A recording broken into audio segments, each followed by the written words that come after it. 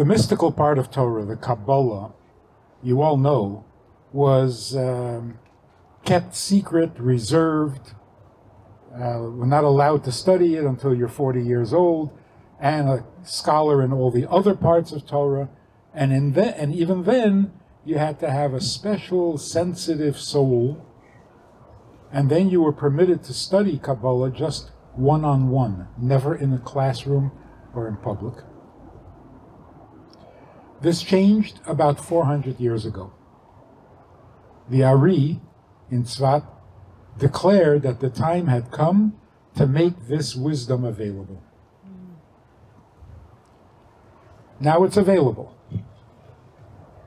Very available. Anyone who wants can study Kabbalah and is studying Kabbalah. And now that we're studying it, the mystery is why was it kept secret? There's nothing dangerous in it. What's the secret? The secret is not something dangerous. Secret means private, personal, intimate. That's secret. From the Torah, we know what God wants, but we have no idea what it means to Him. He tells us what to do thou shalt not, or thou shalt. What's in it for Him? How does it matter to Him? How much does it matter to Him? This we see only in the Kabbalah.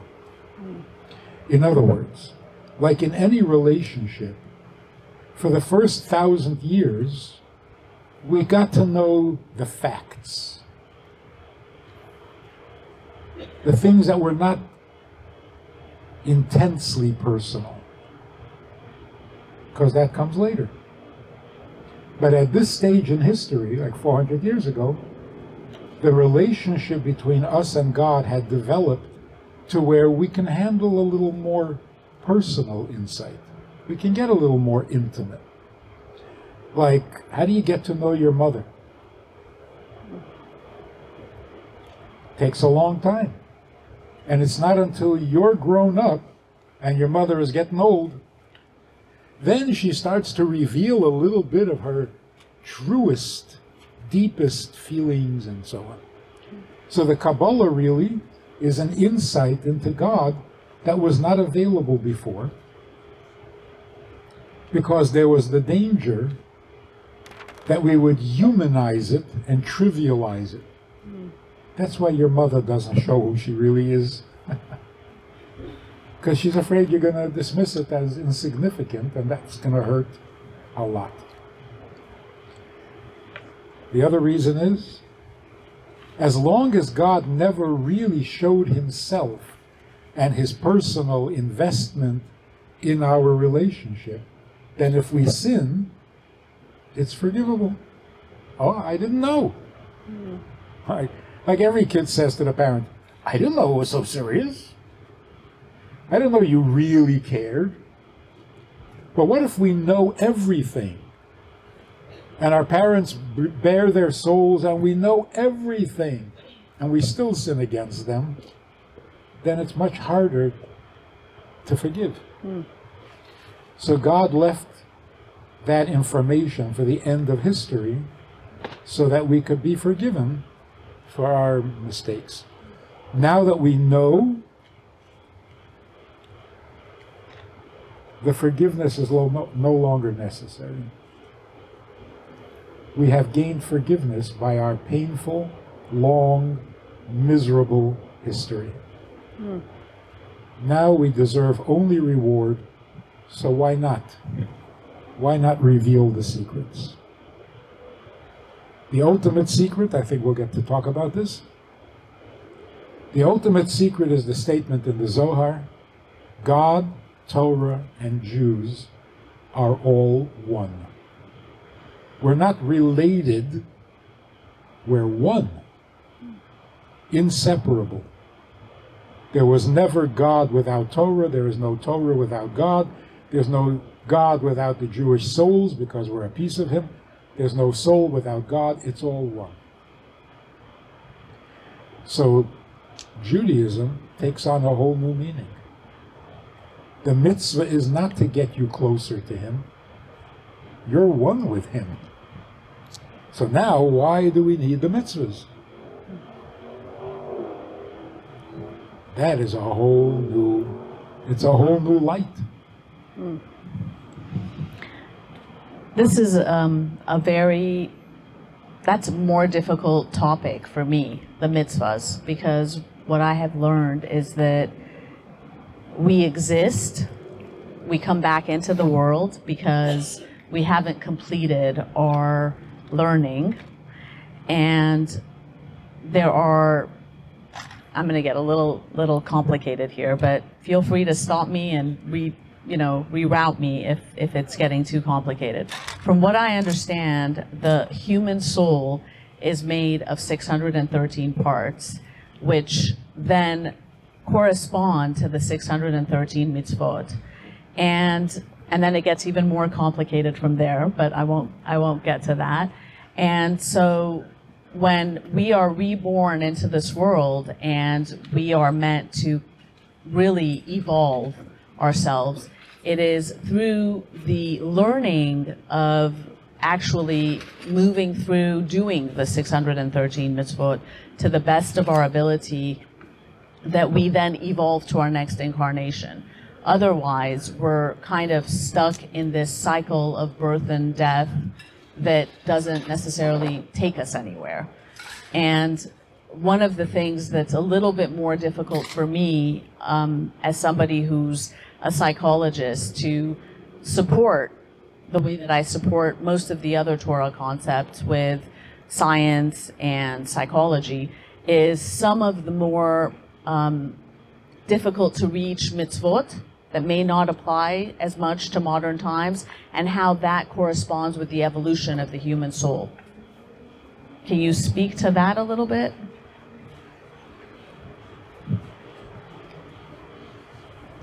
Keep me wet. That's okay. I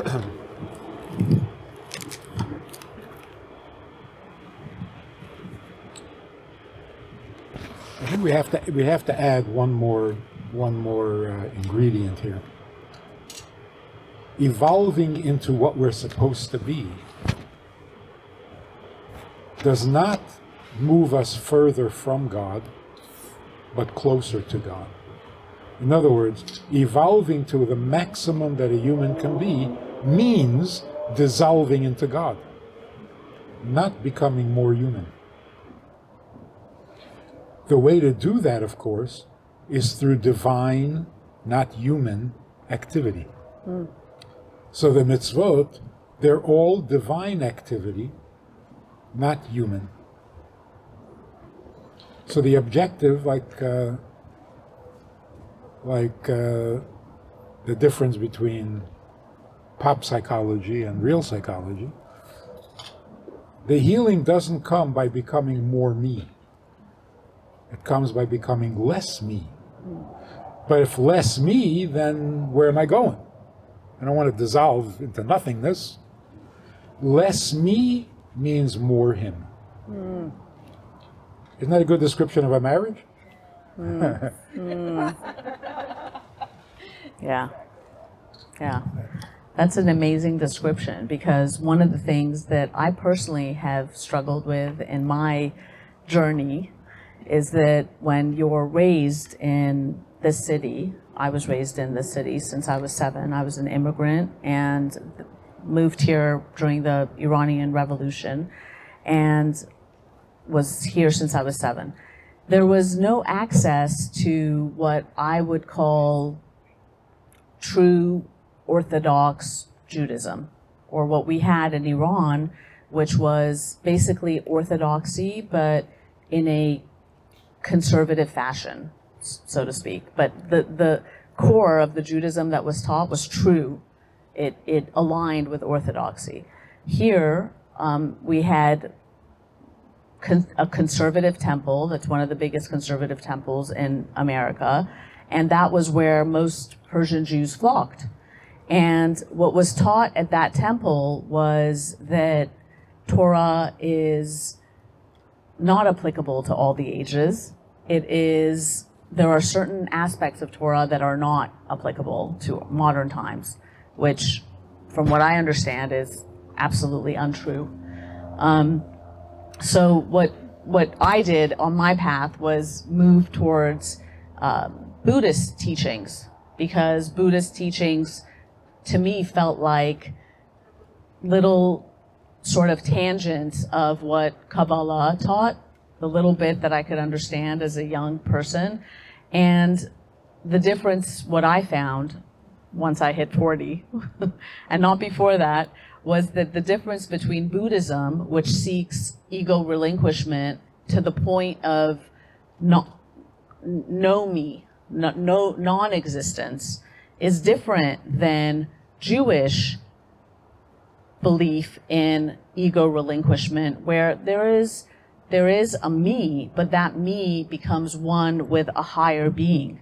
So you are consistently in service mode of Hashem in the way that it is actually dictated, but you are not losing yourself. And one example of that for me was that when I would, you know, there's there's been moments in my life where I've achieved or, or done a great healing or, or helped in someone achieving something good in their life. And they would say, Aren't you so proud of yourself? Wow, you did this, you did this. And I would just sit there and say, This is all Hashem. This is all Hashem. And there would be zero sense of self in that. But once I really understood the differentiation between what I had learned for the first 25 years and what I've learned since then in the next 25 years was that there's a little sense of self, but even that self comes from the self that matters comes from Hashem, but it is a self. So I'd love to hear a little bit more about this idea of ego relinquishment in the Jewish way from you. Uh, to, to put it in, in practical terms, it is so much easier to admit that I am wrong than to admit that you are right. Is that not true? It, there's no comparison. People who are perfectly comfortable and able to say, I'm sorry, I was wrong. I made a mistake. I was wrong. I'm so stupid. Hmm. They can do that. Hmm. And it doesn't hurt their ego. But to admit that somebody else is right, they can't. Hmm. Wow. Their ego will Wow. not allow it. The self effacement in Buddhism is I am nothing, I am wrong, my needs, my wants are nothing. Why? Because I'm nothing. So I'm wrong. And who's right? Nobody. The universe, or whatever that Right, means. right. right, Whatever that means, exactly. So there is no you're right in Buddhism. There's I'm wrong. Hmm. wow. Fascinating thing is that most of Buddhism and Hinduism, the whole Eastern philosophy, came from Avraham. Wow. Avraham, after Sarah passed away, married Keturah. Right? And they had children. And Avraham gave them, the children of Keturah, he gave them a gift and sent them to the east. Hmm. They moved to the east. Hmm. The original philosophy in the east was called Brahman or Ibrahim or Abraham. Wow. So Wow, what what Avraham gave his children is his philosophy before God spoke to him. Hmm.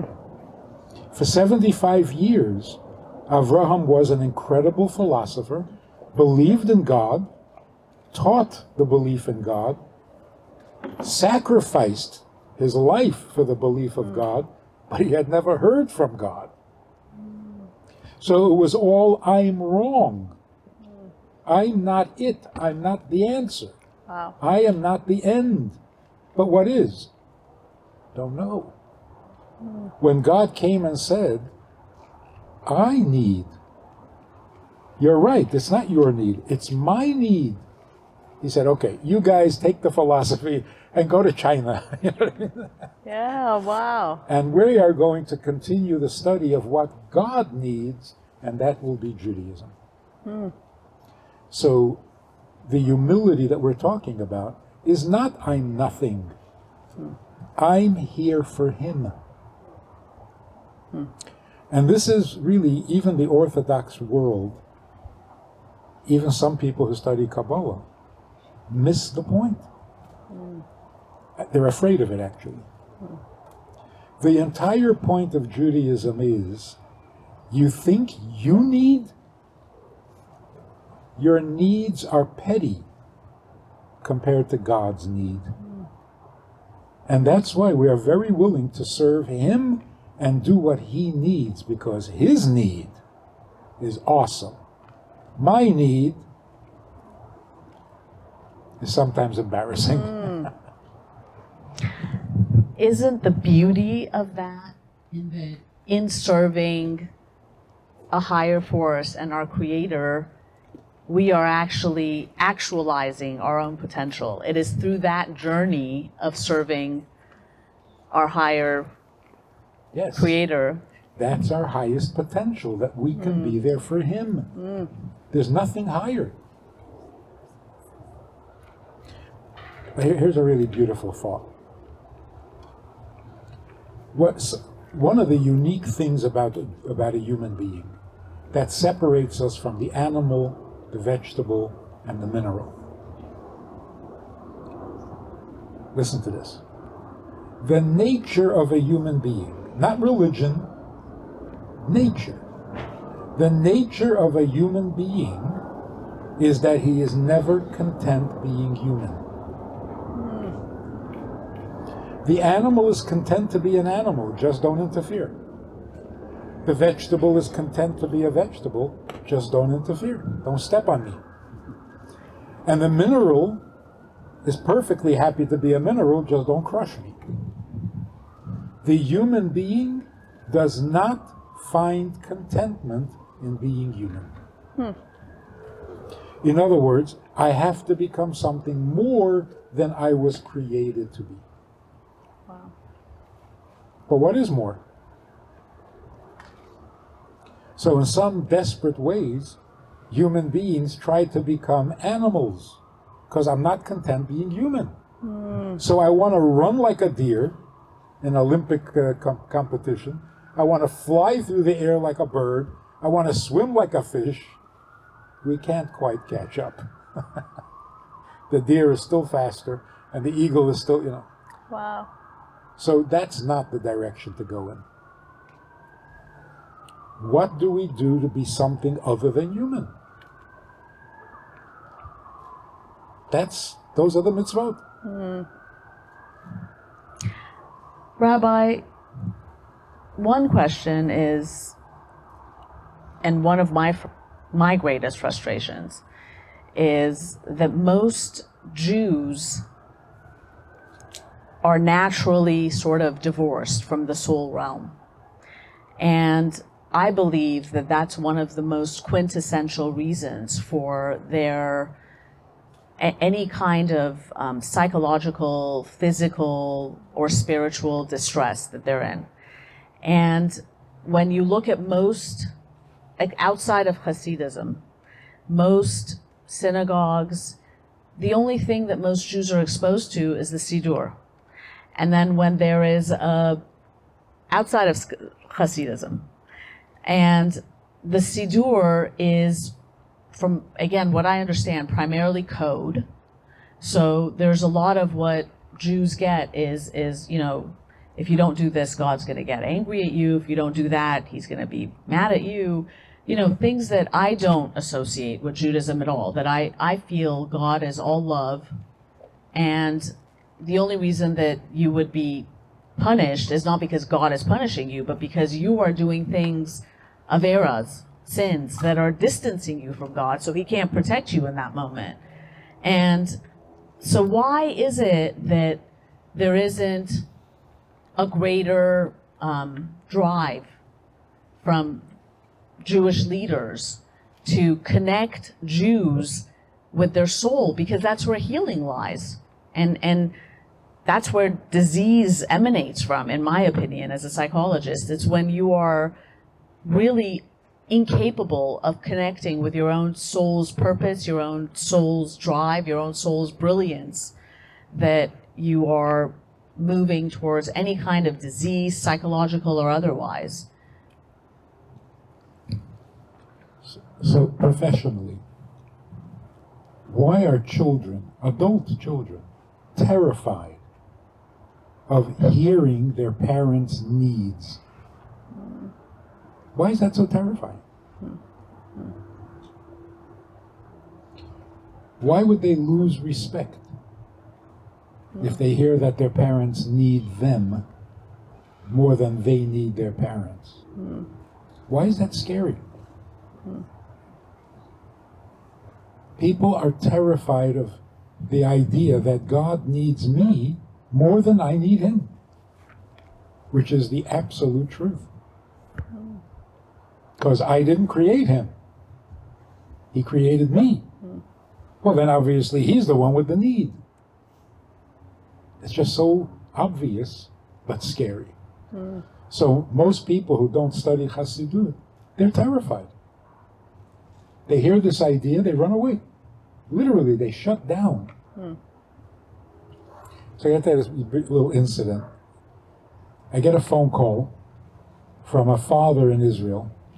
I have, I have not, don't know him. He doesn't know me. He has a problem. His 12 year old daughter got it into her head that God was angry at her, and she's all distressed. Wow. They went for therapy, they went to rabbis, they even went to Kabbalah for uh, mystical healing. Nothing helps. Hmm. And then he did something that is really distasteful, but he says, Here, talk to her. And he puts her on the line. Hmm. Oof. So I said to her, God is angry at you? She says, Yeah. I said, I'm so jealous. Wow. She said, What? What an answer. I said, You're 12 years old and you can get God angry? How did you become so important? Mm. Wow. Problem went away. Now she goes telling her friends, God's angry at me.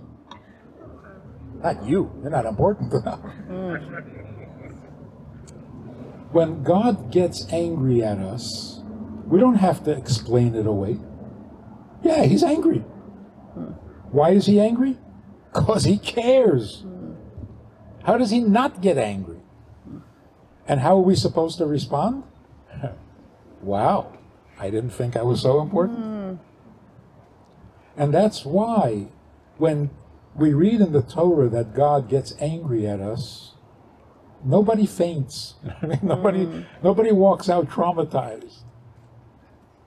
In fact, there's that portion in the Torah where God describes the horrible punishments He's going to bring on us. You know, Yeah. like four pages worth. Yeah. You're going to suffer. You're going to die. You're going to go crazy. You're going to be crushed. You're going to, whoa, whoa! It's like it literally sounds like a Holocaust. We read this in the Torah, and what do we do right afterwards? You go into the social hall and you make kiddush and you have a kichel and you go home. Like nobody sits there trembling. Hmm. Why? It's your father talking. Wow. So his anger is a compliment, not a threat. Hmm.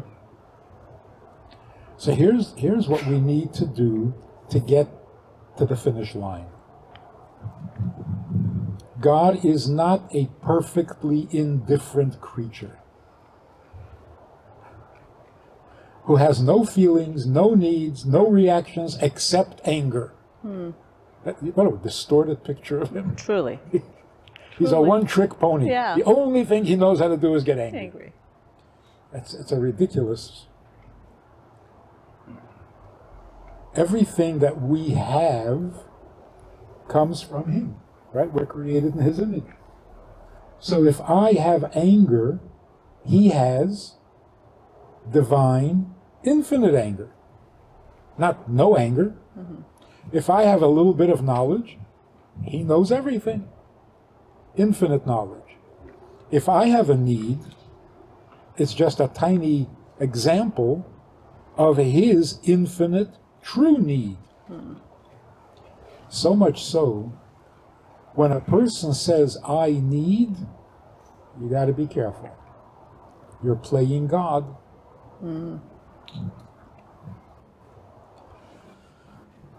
God created the world with a plan. You mess up his plan, he gets angry. I didn't create the world and I have no plan. Why am I getting angry? So to get angry is to act like God. To say I need is to act like God. To say I know everything is to act like God. And yet, what you're taught in every school, in every shul, in every synagogue, in every Hebrew class, you need God desperately. He needs nothing. Oh, this is this is a bad relationship. But like an abused wife. We're needy and we keep begging and we keep pleading and he just punishes away like there's no end. That's an abusive relationship. Right. To think that God can get angry at us is a huge compliment. We love it. We're being noticed. We count. We, we mean something. There was an incredible, incredible um, analogy that my teacher, Rabbi Tatz, taught me once. He said, A car cannot function. A car is one of the most practical, important things in the world. It gets you to where you need to go, it gets you to the place where you can do your mitzvahs. It cannot function without a carburetor. And you, each individual in the world, is like that tiny, tiny little nail in the carburetor for which, if you didn't exist or if it would fall out, the carburetor wouldn't work. It's super tiny, you can't even see it. But it's the thing that makes the entire thing function. So it's kind of part of what you're saying in that we're very little, we may be, you know, one speckle of sand in an ocean of sand, but each one of us are seen and each one of us matter and each one of us have has our purpose. There, there's another very powerful word. What is your purpose? How do you know there's a purpose? Who says there's a purpose? Eat, drink, and be merry, and then die. Who says there's a purpose? And yet, everyone throughout history, forever, has been looking for the purpose. There's no purpose. Relax. Why are we so convinced? So, I just recently read in the name of Mark Twain. And this, this is something that can, that can serve you for the rest of your life. He said, There are two very important days in your life the day you're born and the day you find out why. Isn't that amazing? It is. It is. It's everything in one little sentence. it is. Well, almost everything. because if you meet him and you say, you know, I heard you say that uh, the second in significant day in your life is when you figure out why you were born. Why were you born? He doesn't know. I love that. I love that. Everybody asks the good question, nobody has an answer. I was talking to a minister, Christian minister. We were doing a we were doing a documentary and he was one of the advisors, so I was introduced to him. The first words out of his mouth, noticing that I was Jewish. Something gave me away. Noticing that I was Jewish, the first words out of his mouth were, So do you believe in the Savior? not, not belligerent, not just matter of fact. So I also I answered him in the same way. I said, you know, really, I'm not looking for a God who's going to save me. I'm looking for a God that I can serve, hmm. not a God that will serve me. Hmm. This guy is in his 60s. He started to cry. Wow. He says, I never thought of that. So, if you were to ask Christianity, any branch of Christianity, why are we here? There's no answer. You're here and you're in trouble. He will save you and, and protect you from hell and get you into heaven. Yeah, but why are we here? Don't know. That's a really interesting concept because one of my, I, I consider it one of my most important teachings from a psychological standpoint, is um, the drama triangle. I didn't create it, but I teach it. And the drama triangle is where most humans come into this world from a conception or perception that every relationship in the world they have is made of a hero or savior, a villain or predator, and a victim. And so when they are born into the world, for most families, the dad is generally the predator or villain, the mom is usually the savior, most families, and they're usually the victim that's being saved. And so they repeat and project this unconscious diagram, this unconscious triangle onto most of the relationships in their life.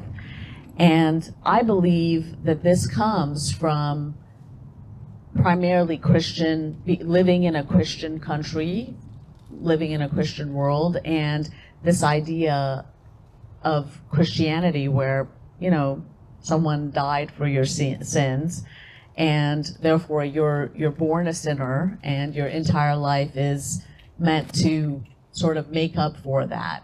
Um, just just like when we spoke earlier um, in our promotional video, we talked about how possibly this separation between church and state has moved into the psychology of most people and separated them from their own spiritual existence. I wonder if that's also something that has colored Jewish thought in regards to themselves. They've adopted this because this idea of victimhood is a very difficult thing to move most of my clients out of. Even Judaism, without the Kabbalah part, makes you the victim. Hmm. And that's very sad. Hmm. Because it's not supposed to be that way. Wow. In fact, it's also very fascinating. The fairy tales, the classical fairy tales, Bruno Bettelheim, Completely, yes. the, the uses of enchantment. Yes. He doesn't say the father is the is the predator. It's the evil stepmother Right. or the fairy godmother. Right. Th- those are the Yes. And who is the hero? The simpleton. Mm-hmm. Not the smart, not not the, the big shots, not the the simple country bumpkin. Right. And how does he become a hero? He serves a higher authority, mm. the king. He saves the princess Right. for the king. Right. And then the king knights him. When the king approves of him, then he has attained his goal. Hmm. It's not to become the king. Right. Today, children are raised on superheroes. Terrible. Yes. Terrible. Everyone has to be the top. Nobody wants to serve the higher. So, the, the, the, the victim mentality that we're born into trouble and we can't help ourselves and we need to be protected and saved and it's so depressing it's so mm. morbid and so not true Right. Right. Right. the truth is what God Himself says in the Torah. God created the world because it's not good to be alone.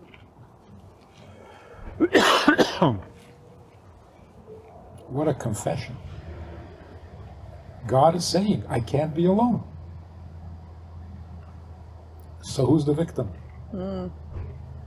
Who's needy?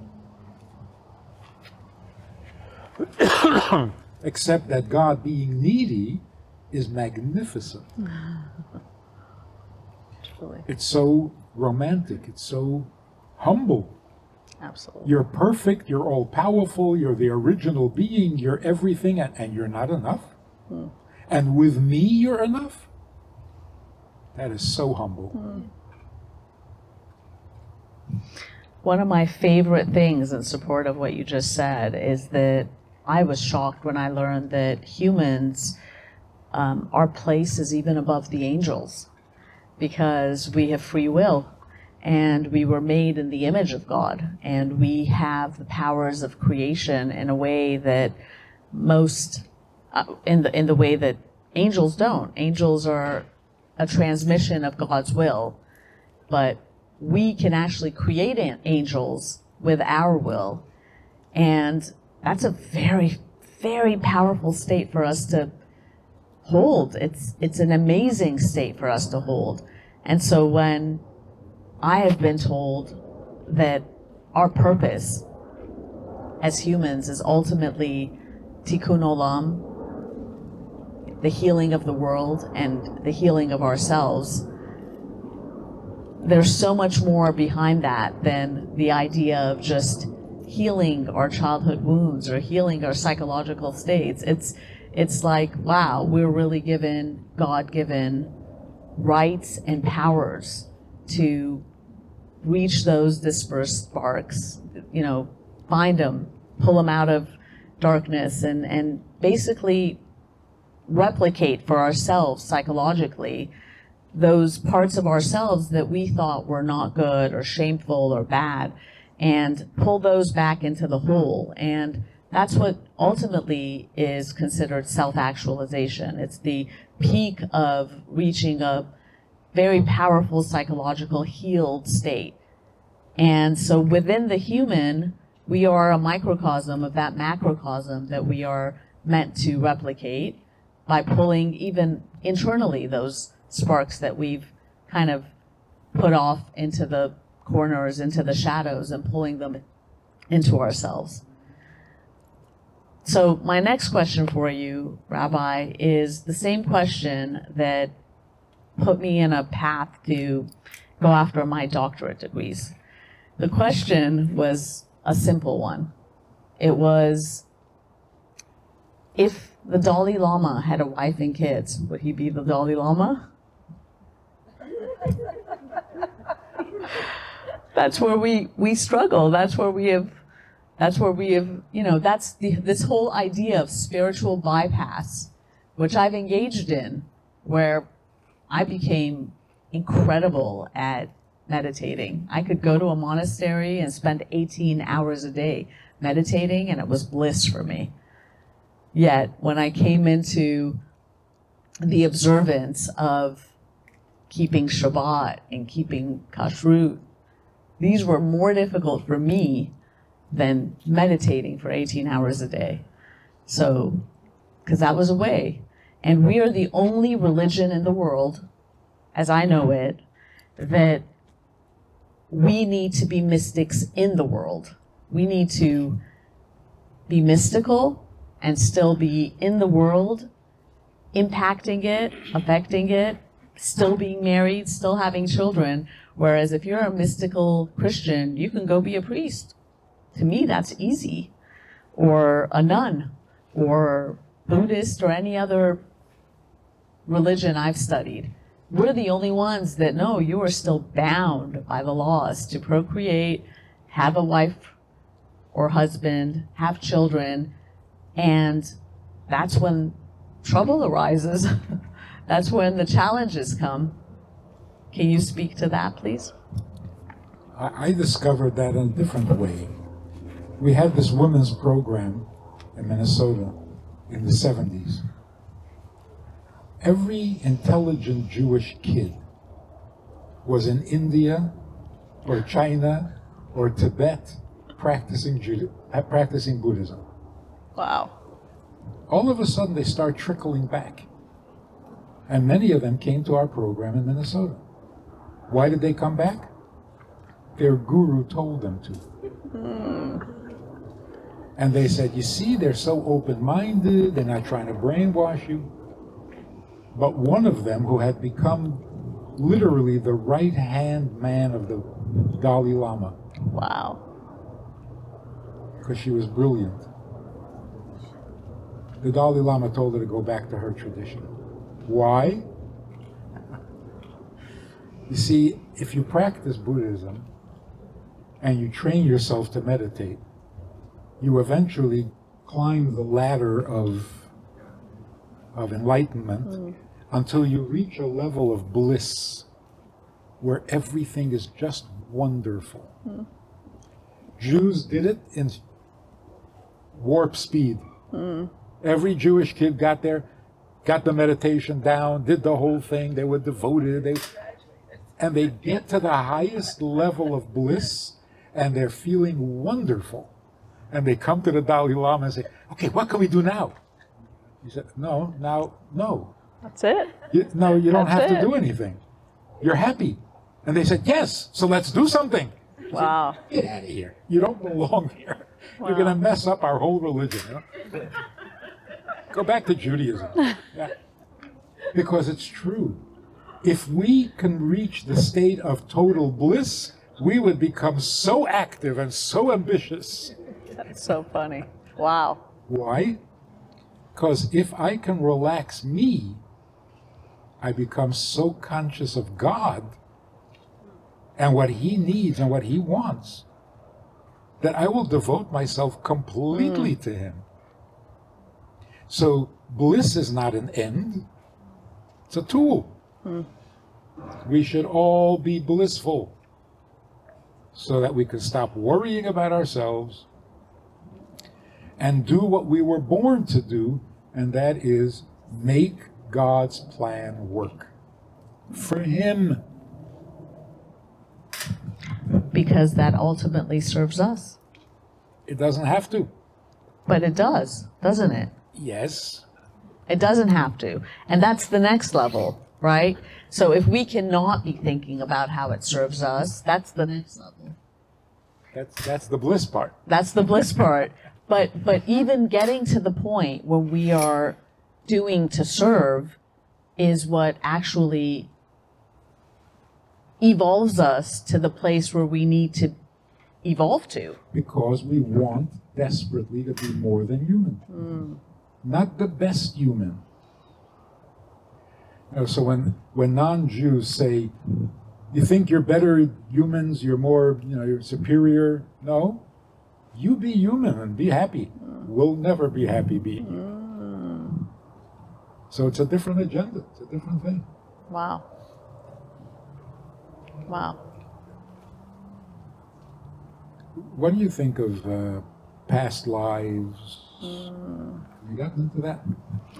That's my favorite topic. Let's- That's my let's talk. favorite topic. And it's it's Let's talk. it's it's a little bit um it's a topic that is controversial because one, most people's knowledge of past lives is Brian Weiss's Many Lives, Many Masters. And that is not surprisingly I mean, it's, it's, it diverges far from Torah concepts. And the little bit that I have studied has added so much color and meaning to my life that I would love to go there. I would love to go there. So, just a few, I'm just going to put, you know, sort of speak to a few of the things that I know for sure. Um, or, or please correct me if I'm wrong.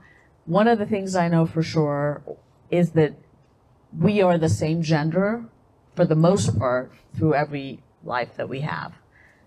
If we come back as a different gender, generally there's a glitch in the process of being reborn for a certain specific reason that we need to learn.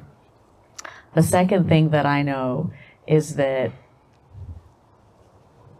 we have we don't have a multitude of hundreds of lives like Buddhists believe and like others believe, but we have maybe a handful, give or take, and that really, really adds uh, a, a tremendous amount of purpose to each life we're living. Because when I used to think that we we've had hundreds of lives, then for me, it was like, well, what's the point? Let- Let's just live it up this one, and then we can come back in the next one, and we can, you know, try harder then.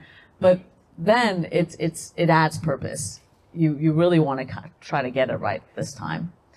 Um, and then there were the different layers of what happens once you move on as a soul that was very interesting to me. Whether it was the um, what happens uh, I don't I don't want to say the terminology because maybe it's a little bit like the beating in the grave, which is kind of the first stages of that. It's like carpet cleaning where you beat the carpet and get all the stuff out. But all of that was very interesting for me too because there was such a rhyme and reason to the evolution of the soul that that too for me added meaning to while we're here. So any aspect of that that you'd like to speak to, I'd, I'd love to hear.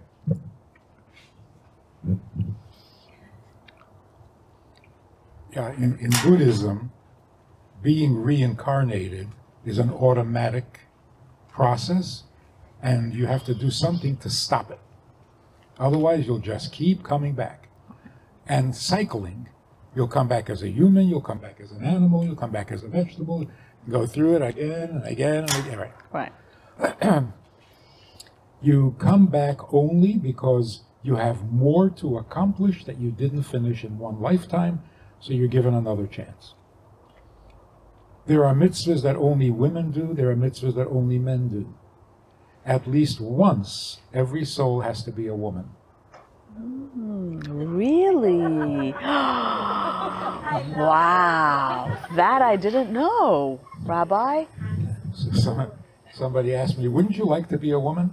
I said, Done that.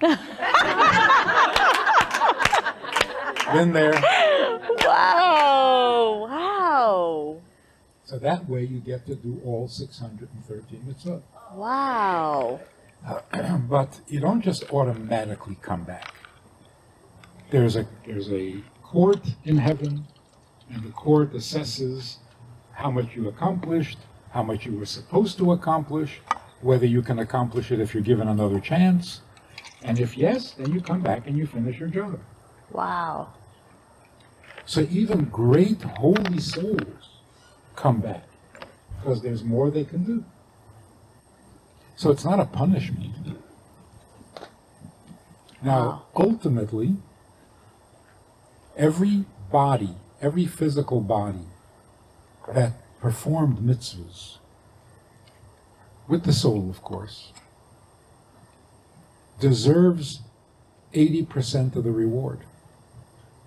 Because every mitzvah you can think of, it's the body that's doing it. Wow. You know, a soul can't eat matzah on Pesach.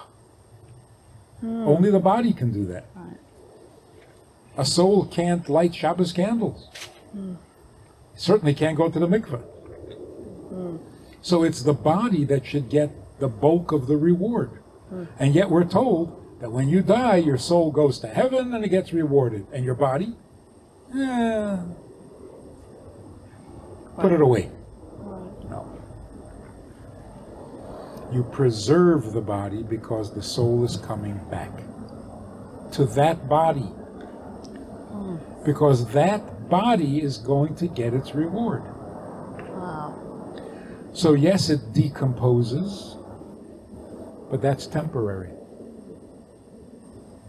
So, the soul never really loses its affection to its body.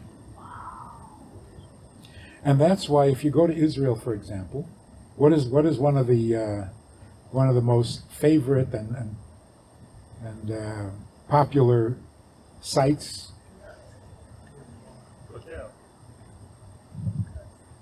Hebron, where our ancestors, our, our matriarchs and patriarchs, are buried. You know how long they've been buried? And you go into where their bodies are? Come on, mm. the bodies are gone. No, they're not. Wow. And if you want to get to the soul, the soul hangs around its body hmm. forever. It will never give up on its body. Wow. So that is called resurrection.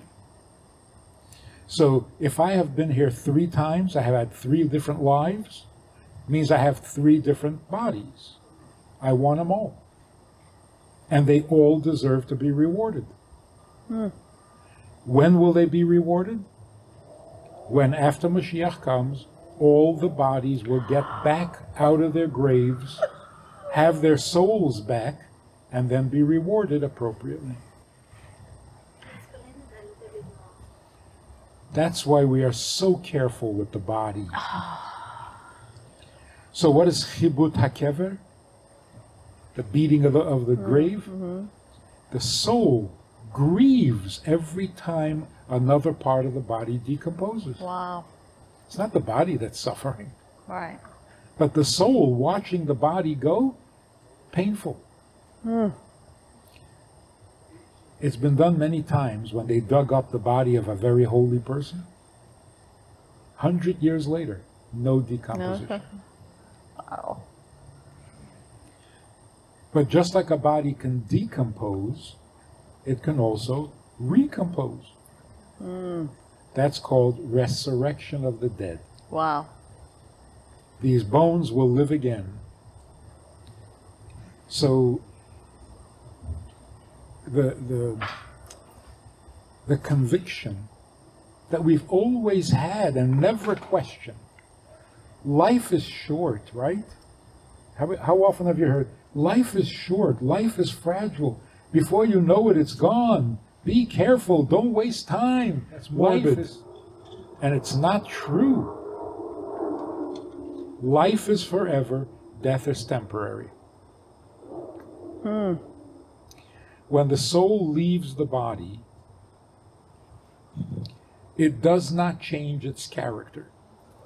So here's a very important distinction between Judaism and Christianity. Christianity says if you make it to heaven, you will be an angel. All angels are the same. You've seen one, you've seen them all. right? You're an angel. Right. You look like every other angel, you feel like every other angel. When your soul leaves the body, it does not change its personality. So if your father was a rigid person with no sense of humor, don't make jokes about him even now. He has no sense of humor. Hmm. Wow. If he was a jolly, funny guy, live it up. Hmm. Because he's still that way. Right. What's even more significant God forbid a child dies. That soul, let's say a six year old, that soul is six years old Forever. until it comes back. A six year old needs its mother. If you stop being its mother, it hurts. Hmm. So it's not that you become a generic something, you remain yourself. And part of that is you remain enamored with your body. How does that work when, during the time of Moshiach, when all of your bodies are coming back, how does the soul inhabit multiple bodies? a soul can divide into many parts. The, the, so, the body in which I succeeded, let's say, in kindness, the kindness of my soul will enter into that mm. body. Mm. In the other body, I succeeded in being more disciplined and more focused. Well, then that part of my soul will go into that body. In fact, the part of the the part of the soul that succeeded is not reincarnated. It doesn't get born again. only the part that is not finished. So if a person was really good and really productive and so on, the the biggest part of his soul will stay in heaven, and the little piece that is not yet finished will come back and have another life, Gotcha. another crack at it. Are you guys ready for a little bit of mind bending stuff? Like, can we, is, is this, are you enjoying this? Like, this kind of complicated? We will, we will. But I, I want to ask a question that, like, I know, I, I agree with you on everything that you said in terms of superheroes and stuff, but there's one thing that I feel like some of these movies I, I feel like they they display tenets, sometimes tenets of Kabbalah in certain ways that we couldn't possibly wrap our heads around.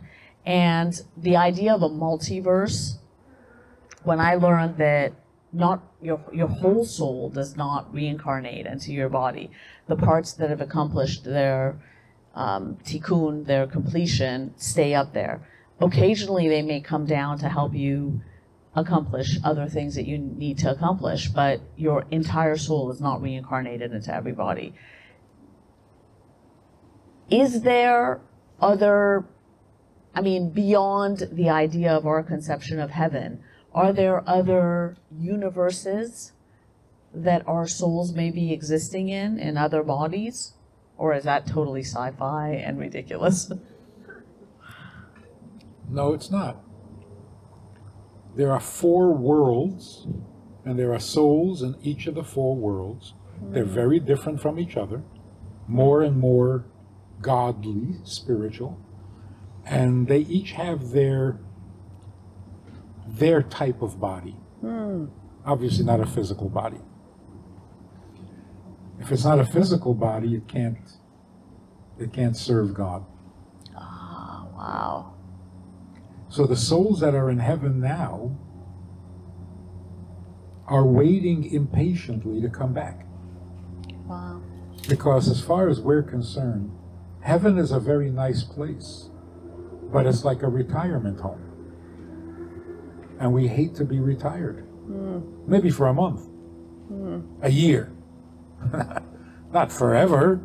Right. So all the souls in heaven want to come back and serve God, not be served. Hmm. In heaven, you are served. Wow. Okay. You want to get into some real Kabbalah? Literal? Yes, please.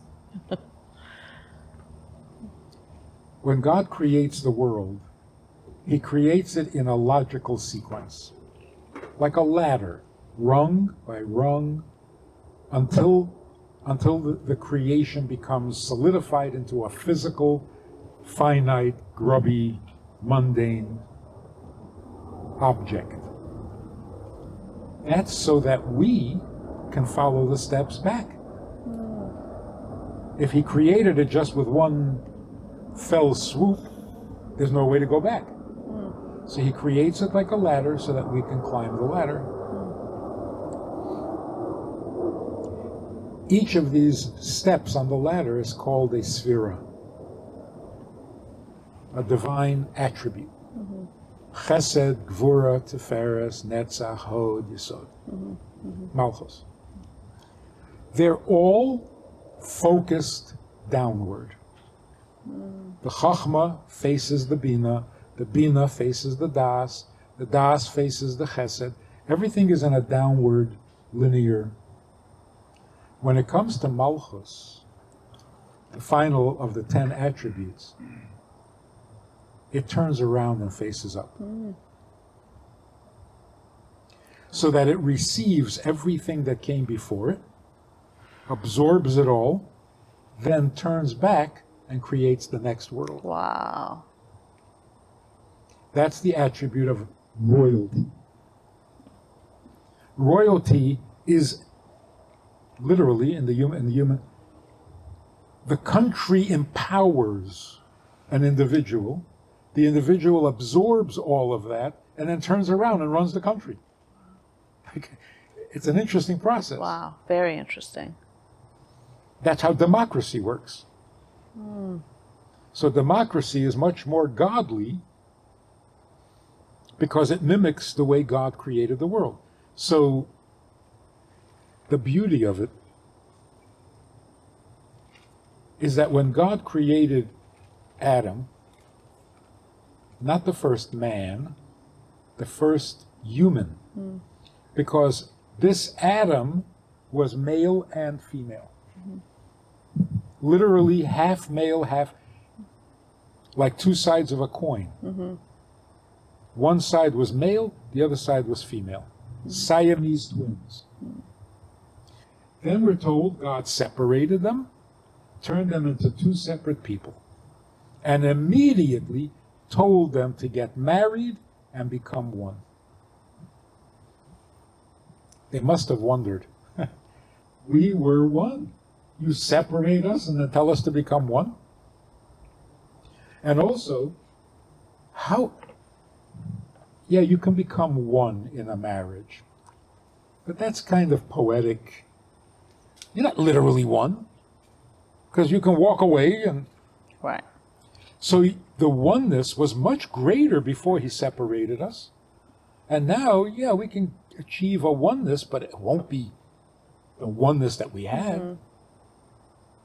So it looks like we're losing ground. We're, we're getting worse, not better. So here is the romantic side of God and the romantic side of Kabbalah, which is Hasidut. Mm. The difference between the oneness that existed in creation and the oneness that we achieve through marriage. Adam and Eve were one body, inseparable, but they'll never see each other because they're back to back. Mm. Wow. So they are in fact inseparable, but not face to face. After sep- separating us, we will again become one through a good marriage, not as inseparable as before, but face to face. And that is much better, worth the operation and the recovery, Right. so that we can be one face to face. Wow. In other words, God creates and things keep moving down. Eventually you get to Malchus and Malchus says, wait a minute, where am I coming from? And turns around face to face. Hmm. So intimacy begins in the last attributes, the lowest attributes of each world. Amazing. So Yesod, which is called foundation, the fundamental relationship is male and female. Hmm. It's the only attribute that comes in male and female. But it's back to back. They're inseparable, Right. but it's back to back. Wow. The next one, Malchus, turns around to face its creator. Wow. That's the feminine trait. Wow. Amazing. It's amazing. I mean, no mm-hmm. human could come up with this stuff. I mean, it's really, you know, this is the mind of God, and it's amazing.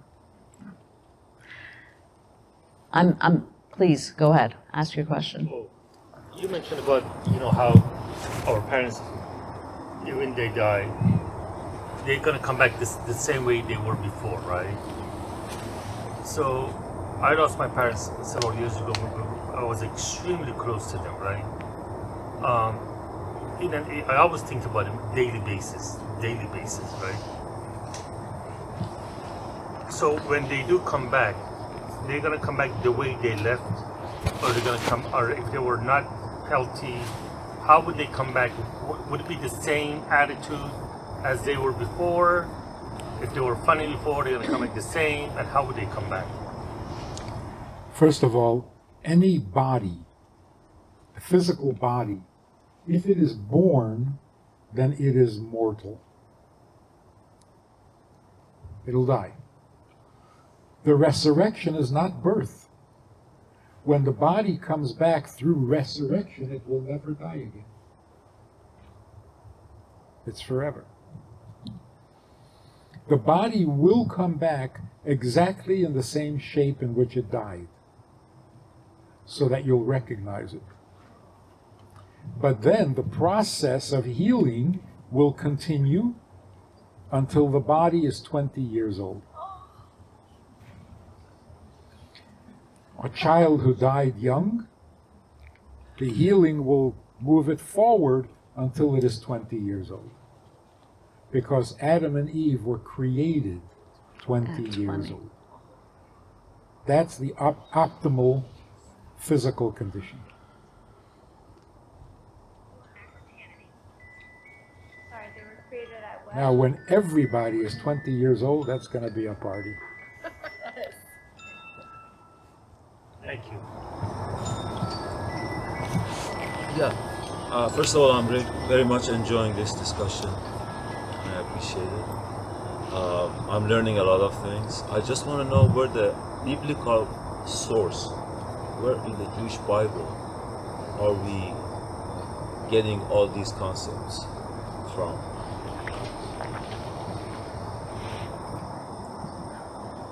The Torah is given in many layers. And that's why it's still alive. Because every couple of hundred years, we discover another layer that re excites us and re inspires us so that it's fresh and alive and, uh, and, and inspiring. So there is, of course, the written Torah. Then there's the oral Torah, Torah Sheba'al Peh. The Torah Sheba'al Peh is mostly what God told Moshe, but didn't tell him to write it down. So, for example, Moshe comes down off the mountain after 40 days, and he says, Men have to wear tefillin. They said, What's that? It doesn't describe it in the Torah. There's no description. So they said to Moshe, what, does that mean? And Moshe described it in detail. It has to be made out of leather, it has to be square, it has to be with black paint, black straps, has to sit on your head, and it has to sit on your arm. He knew it all. Hmm. That's the oral Torah.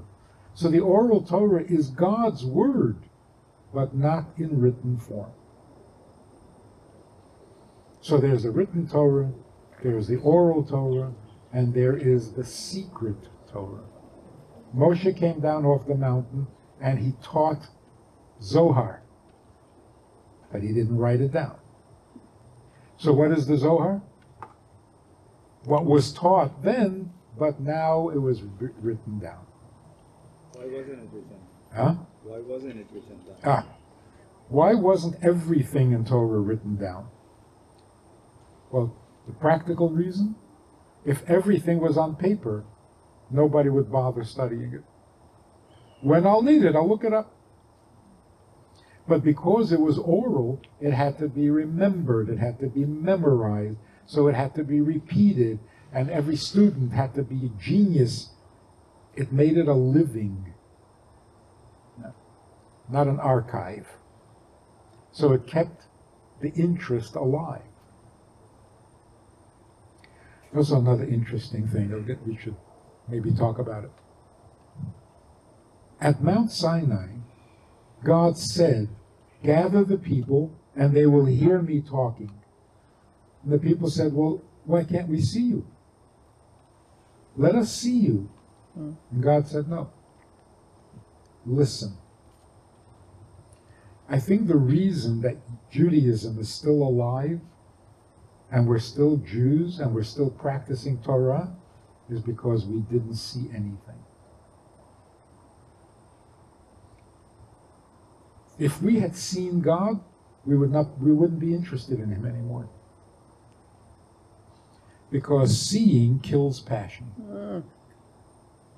Contrary But he tried, didn't he? He tried, and it just dissipated everyone because we couldn't even handle We couldn't handle hearing him.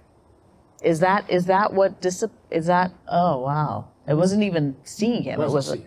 Oh wow! But the idea that if you see, you become more passionate, like men are Yeah. visual, Right.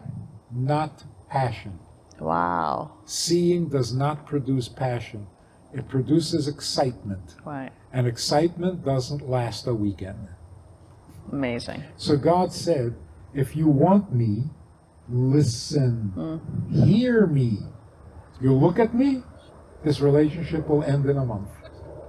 That's to all the men out there. And the Listen. Women who, and the women who buy it. So, the, the Kabbalah is the Torah. It's the Kabbalah of the Torah. And it wasn't written down until Reb Shimon Bar Yochai got the courage. So it was transferred orally for ages? Yes. So the other parts of the Torah were translated, trans, transmitted by big groups, big yeshivot, one teacher teaching a hundred students. The Kabbalah was transmitted one to one. Wow. So in a sense, it's better preserved. In a big group, you can you can misunderstand, you can, but when it's one on one, carefully chosen, protected. So that's that's where it is spelled out. Once you hear it, now you look back at the written Torah and it's right there. It's in the written Torah, but you never noticed it. I feel like I can hear what some people are thinking. And I feel like some people who want to sort of say, well, then, you know, it was just rabbis who said whatever they wanted to say since it was orally transmitted. No human can. And I feel like that's, I've heard a lot of that. And it wasn't until I went on my own journey of studying Torah with a real um, sort of devoted rabbi for the last 25 years. And simultaneously, everything that I learned for me, because I was raised to with a very rash, rational parents. My parents were very educated and very rational. Everything needed to be proved scientifically. And surprisingly, shockingly, I was able to I was able to find scientific proof to everything that Torah spoke to.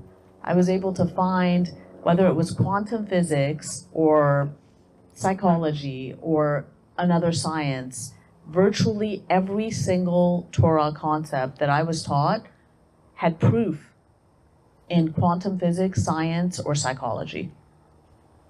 So for me, that is where truth was born, the idea of truth, because I was I was you know I went to UC Berkeley, very liberal, you know everybody's truth is their truth, and there was I was cracked open to believe okay you know everybody's everybody has their perception, but it wasn't until I understood and truly realized that when I studied shamanism, Peruvian shamans who live in the Amazon, who never left the Amazon, were saying that the same spiritual concepts were true as what existed in the Torah, that to me,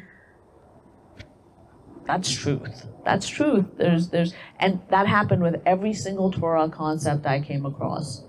So I know my great grandfather would say that everything in the world that exists comes from Torah.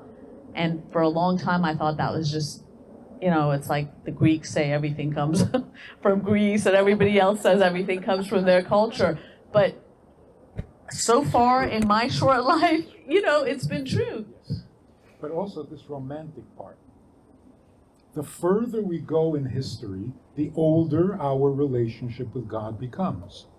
Therefore, God can reveal to the sages things that he did not reveal at Mount Sinai. Hmm. So the things that we learn later in history are more personal to God, and that's why he whispers it to one person not like thundering it from the top of the mountain. Wow. So we're getting more intimate. We're getting so the the rabbinic, the mitzvot de rabbanan, in some way, are more personal than the ones written in the Torah. Hmm. So it turns everything upside down. We're not fading out. We're getting deeper. Like for example, if you remember the, the, the pasuk, at the end of the 40 years in the desert, Moshe says to the people, Until today, till today, God did not give you lev lahovin eisen lishmeya v'ayin. li-" Now, 40 years later, you're starting to understand. Mm. That's only 40 years. 400 years? 4,000 years? We're making progress. Wow. So the customs, the minhag, the, the things that we become careful about that are not written in the Torah and your grandfather never heard about, is more important in some way than the things we've always had. So I have a very interesting little example of this. I don't know when it started, but it's pretty recent. If you cut open an onion and leave it overnight, you're not allowed to eat. It. People thought it was a superstition. Hmm. It was some kind of a mystical something or another. It's not written in the Torah, it's not written. You know what the problem is? An onion, you cut it open and leave it overnight, it absorbs viruses. You don't eat it the next day. In fact, if you have a virus or a bad chest cold, cut open an onion, put it near your bed when you're sleeping, and you'll wake up feeling better. Because the virus will be in the onion. Nothing mystical, nothing magical, but ahead of its time.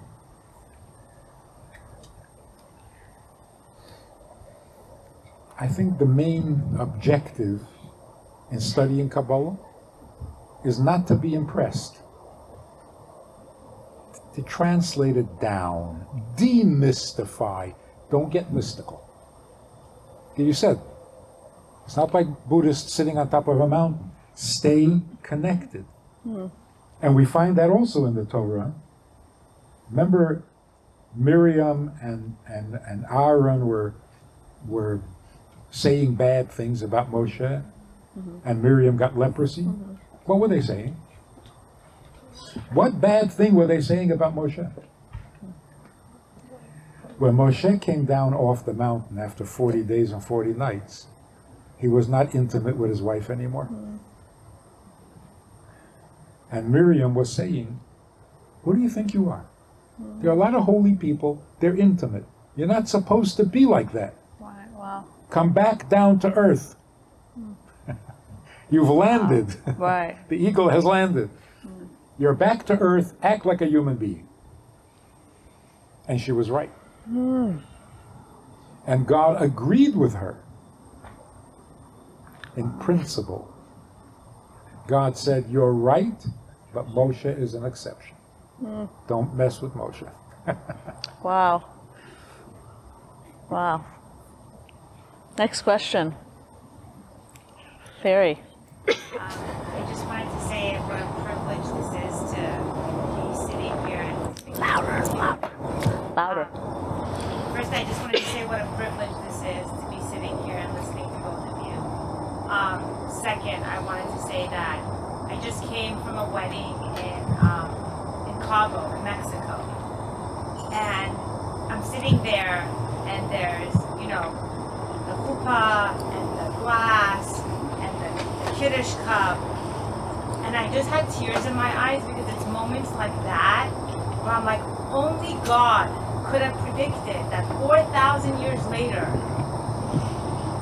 the Khatan and the Kala will need to get married like this, they will need to start their life like this, and so many years later, even Reform Jews are still getting married under the tzitzit mm-hmm. with the Kiddush cup, and I really, it was the most amazing thing to me in those moments, I'm like, wow. You know, it's like he knew, he knew, he knew that throughout time they would need some kind of a framework, whether they were Hasidus, Reform, conservative. He knew there would need a framework to keep Jewish couples, Jewish children alive. You know, so I just wanted to say it was we were in Mexico, you know, but it was same thing. You know, it was the same thing in Mexico as it is in Los Angeles, as it is in Russia, and you realize the brilliance of the Torah, the brilliance of God in those moments when you realize couples around the world are getting married under the tzitzit with the same blessings, with the same kiddush cup, breaking the same glass. So I just wanted to say, coming from that experience, you know, it's those moments when I realize how brilliant, you know, it all is. So then now my next question is this. so in my personal life, I went through something very difficult a few years ago. Um, and through that experience, and I want to be grateful to Mona who helped me get through it, Dr. Mona who helped me get through it. But I'm in a place now where I struggle a little with trying to understand that experience from the lens that I'm here to serve God. And if this thing that I'm struggling with that I can't have, maybe that doesn't belong in my service to God. You know, so in my work with Mona, we're really at this point now where it's about you're here to serve God. You're not here to sit here and say, I want this and I want that. And this concept has even come into my attempt to keep Shabbat. Because I try, I'm trying to keep Shabbat, and it's very difficult. So we just had this discussion where I told her I'm having a really hard time keeping Shabbat. I feels like I'm crawling out of my skin. And she's like, when you think about Shabbat, think about serving God, not asking, I want this and I want that. So this concept, in, in, in its most profound way, is what I'm dealing with now, is, wow, I'm here really to serve God, and all these things I think I need, I just don't need. And if I'm really here to serve God, then that actually lifts so much pressure, mental pressure off of what it is I think I need. And rather, if I could really serve God, then it would be a completely different experience. You know, so I just kind of, I don't know if that makes sense, but since I'm here tonight, I wanted to ask if you could shed some, I c- maybe share some wisdom on how to let go of this thing I experienced and really be um, in this place of serving God. You're you're onto something here, something awesome. Let me let me put it in in, in personal context. I'll talk about myself, but you'll get the idea. I need to eat. I need to sleep. I need friends and support. I need a job. I need money. I need something to do. I need, I need, I need. It just goes on and on and on. It turns out that this is depressing. The fact that I need to eat is depressing. It's called existential angst. I don't want to need to eat. I hate it. It's a handicap. I didn't ask for it, and there's nothing I can do about it. I've tried going without food for more than an hour. and I can't. I try going without sleep, and I can't. Came to the conclusion that the need to eat is not mine. I don't need to eat. I just can't help it. I didn't ask for it. I didn't do this to myself. God created me dependent on food. And I don't know why. Because it's a nasty thing. I actually was talking to a woman who was anorexic. Wow. And she had been to therapy. She was not in danger anymore. But she calls up and she says, I still, I, I still think eating is disgusting. I said, it is. And I said everything that the Mishnah says about if you if you eat more, the worms will have more to eat when you die. You know, just like eating is animalistic, it's grubby, it's disgusting. It's a, she says you're worse than me. I said I'm just telling you the truth. It's so humiliating. What is it that we eat? The same thing the rabbit eats. In fact, if I don't have a scarecrow, the rabbit is going to take away my food. I'm competing with a rabbit. It's humiliating. Why did God do this to me? I don't know. So all I can do is swallow my pride, no pun intended. I swallow my pride and I eat something. Our problem was gone Wow. mostly because I agreed with her. Everybody disagrees, and it doesn't help. I don't need to eat. I really don't. In fact, if we didn't eat, we would live forever. Mm. But because we eat, we die. Because no food is completely healthy. I don't need to sleep. I really don't. A human being spend half your life sleeping is crazy. So if I designed myself, I would not need to sleep and I would not need to eat and I would not need to drink. So I need to eat? No. Whoever designed me needs me to eat. I can't claim it as mine. This is the future of psychology. You don't have deep, unresolved needs. You need nothing. Knock it off. You need nothing. Well, then what am I doing here? Oh, you are needed. Your eating is needed. It's not your need. So when we get this hang up, but ah, but I must have, I must, I need. No, no, no. Even if you can't do without, it's not your need. And the best example for it is this kid goes off to yeshiva, teenager, overseas.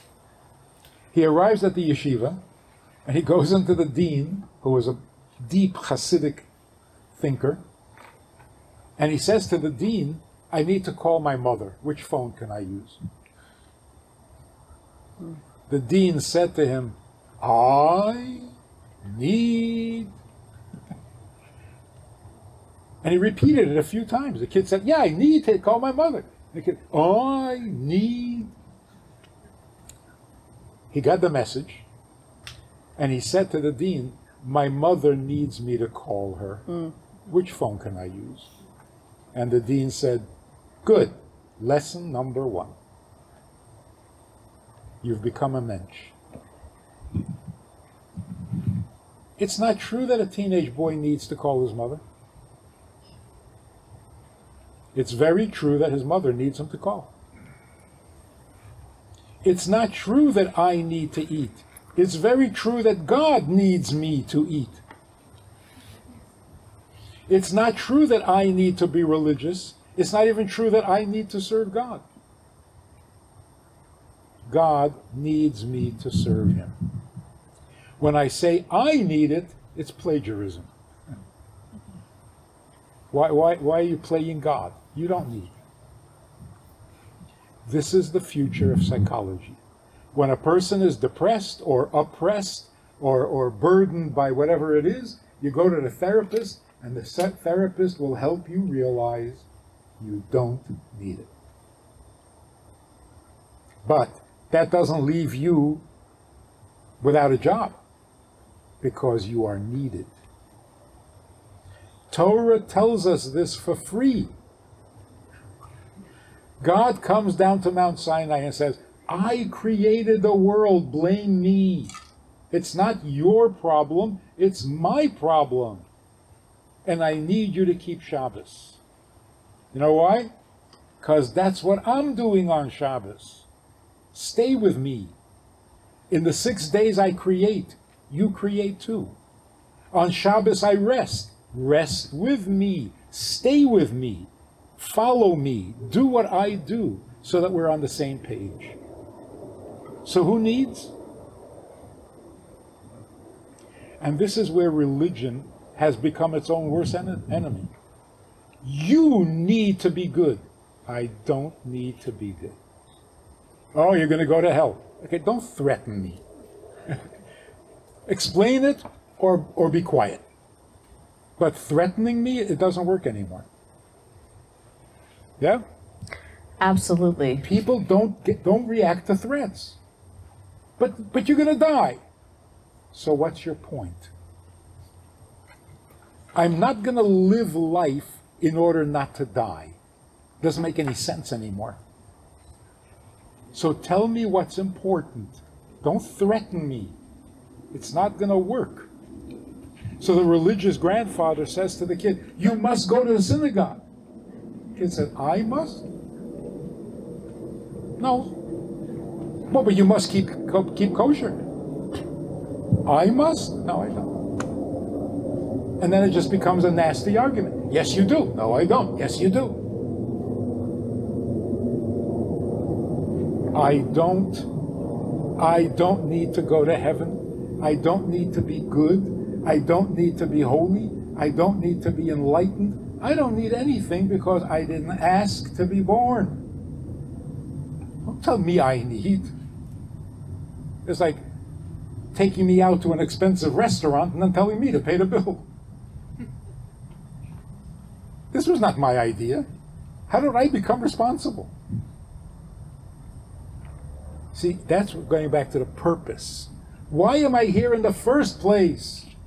Don't tell me how to get off the world. Tell me how I got on. How did I get into this mess? Did I ask for it? No. Did I sign some contract? No. Did I agree to all these responsibilities? No. So how am I responsible? Oh, because if you don't do it, you'll get punished. This is sick. Rabbi, I feel like at the end of the day, a lot of what I've learned and studied is that everything we're asked to do serves us. Every single kosher concept and mitzvot serves a medical health concept that you know that supports it. Um, even the needs in terms of eating, from what I understand, going back to the realm of the soul, there are souls in fruit, there are souls in animals, there are souls in even minerals. And when you say bracha over it and you eat it, it helps that soul get released from that incarnation to the next. So you are deeply and intricately participating in the cycle of life. And with these simple things that you're doing, you are here to elevate every single action that you're participating in. So, in your very eating, if you're eating correctly, you are elevating the world, the fruit, the soul in that fruit. If you are coming together with your husband, which is something that the Torah strongly suggests on Shabbat, you are creating souls, even if they are not souls that being are being born into the world, they are souls that are being born in other realms. So every action that you do here is supported by a huge sort of cyclical thing that, that supports it in terms of whether it's your health or your own personal evolution. Ultimately, we want to get to the point where what the rabbi is saying, where we are fully in service. We are not seeking our own personal growth. We're not seeking necessarily anything that serves us. We are in a place of healthy, egoless you know, place of service that is serving our higher creator. But in the process, the the thing that for me is is so interesting is that in every stance and every step you're taking in service, whether it's washing of your hands in the morning or whether it is the shalom bayit of keeping peace in the home, every single one of these things is for your own personal evolution. Even keeping Shabbat is that the ultimate Shabbat state is the eternity of your soul. And every Shabbat is practice for you to discipline your soul to live in an eternity of Shabbats. Because on Shabbat, you're asked not to create. You're asked not to create, which means essentially doing nothing but existing and having relation with your loved ones. That is the eternity of your soul.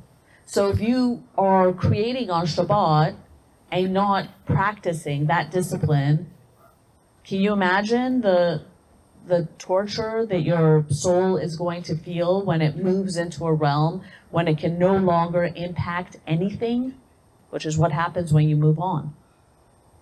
Only those you leave behind, if they have been trained to pray on your behalf, to light candles on your behalf, to pray on your behalf, will they elevate your soul uh, or create, move you out of stagnation? Otherwise, you're, you're there and you're suffering which is what I call a Jewish version of hell, right?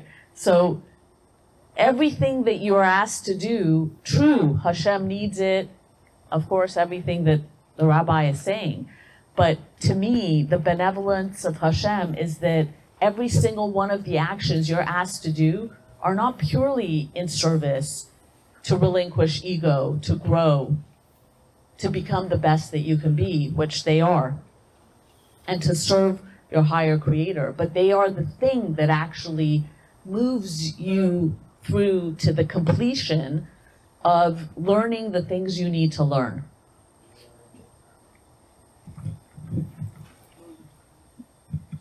See, that's all after the fact. After the fact that God creates me, gives me all those needs, so that I can serve Him, He makes sure that in serving Him I will not lose or suffer. Mm. But if He doesn't need it, the whole thing disappears. I don't need to be all I can be. I don't need to fulfill my soul. I don't need anything until He puts me here. And then all of a sudden I have needs. Good needs, noble needs, but not mine. I don't need. That, that's one of the problems with, with Buddhism. I'm talking to this Buddhist guy, and he's telling me the marvels of it, what you can accomplish. And I said, but what if I say, no thanks? He says, yeah. I said, so I can just, if I say I don't want to be enlightened, any harm in that? No. If I say I don't want to serve God, any harm in that? Yes. God is devastated. That's, that's the part that we really need to reclaim. Because we've turned God into a feelingless, mm. uncaring, invulnerable. Mm. Okay, let's let's let's get to that word. Mm. What's good about being vulnerable? Strength. What? How is vulnerability strength? courage. The cou- most courageous sense of connection is you cannot connect without vulnerability. Right. But doesn't that make you dependent? Needy? Weak? Crippled? No? No.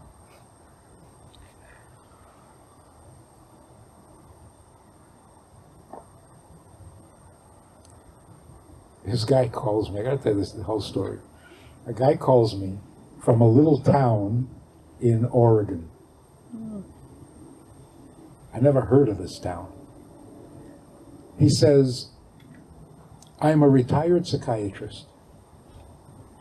I was born Jewish.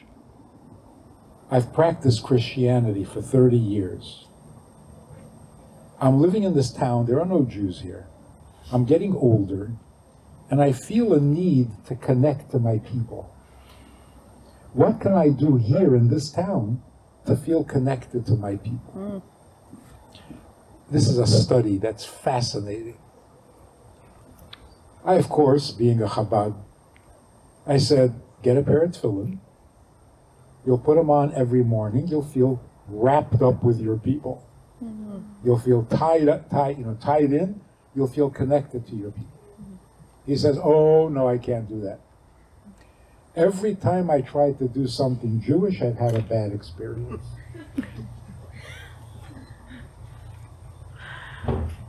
I didn't pursue that. Like, what? Every time you ate something kosher, you choke? I I don't understand what that. Every time I did something Jewish, it's been a bad experience. but instead, I said to him, you know, nobody is Jewish because it's been a good experience. it's not about a good experience. Is that the truth? It's about God's need. God needs you to do certain things, you do it. He says, God needs? I never heard that before. And, oh, he also said, I, I won't tell you my name. What? Yeah. Because, anyway, this guy is a real study, right? I mean, Wow. ev- every word comes out of his mouth is a whole new Wow. psychological drama. he says, God needs? I've never heard of that. And I'm, I'm losing patience. Hmm. He wants advice. I give him advice. No, he can't do that. So I tell him something. No, he disagrees. This guy's got problems. so I said to him, Look, is God all powerful and, and, and almighty? He says, Yes. I said, God is perfect in every way? I said, Yes. He knows everything? Yes. He is all powerful, he can do anything? Yes. I said, then, then he must also be infinitely vulnerable. He starts to laugh. God is vulnerable. God is almighty. So, being a retired psychiatrist, I said to him, Doctor, are you suggesting that being vulnerable is a weakness? He got completely flustered Wow. and he hung up the phone. Thank you. I thought that was weird. a few days later, he calls back. He says, Hi, I'm calling from a little town in Oregon. I don't want to give you my name. Where do I get tefillin?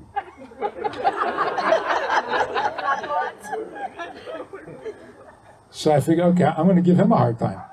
I said, Why all of a sudden? This is really amazing. He says, because my profession uh, doesn't, doesn't allow me to accept the Christian message. I said, after 30 years? He says, let me explain this to you. In our profession, we know that if a man says to a woman, for example, I love you very, very much, more than anything in the world. Oh, you're not interested? Your loss. In other words, he's not vulnerable. If he feels that way, then his claim of love is false. He does not love her. It's not love, it's manipulation. Hmm. Wow.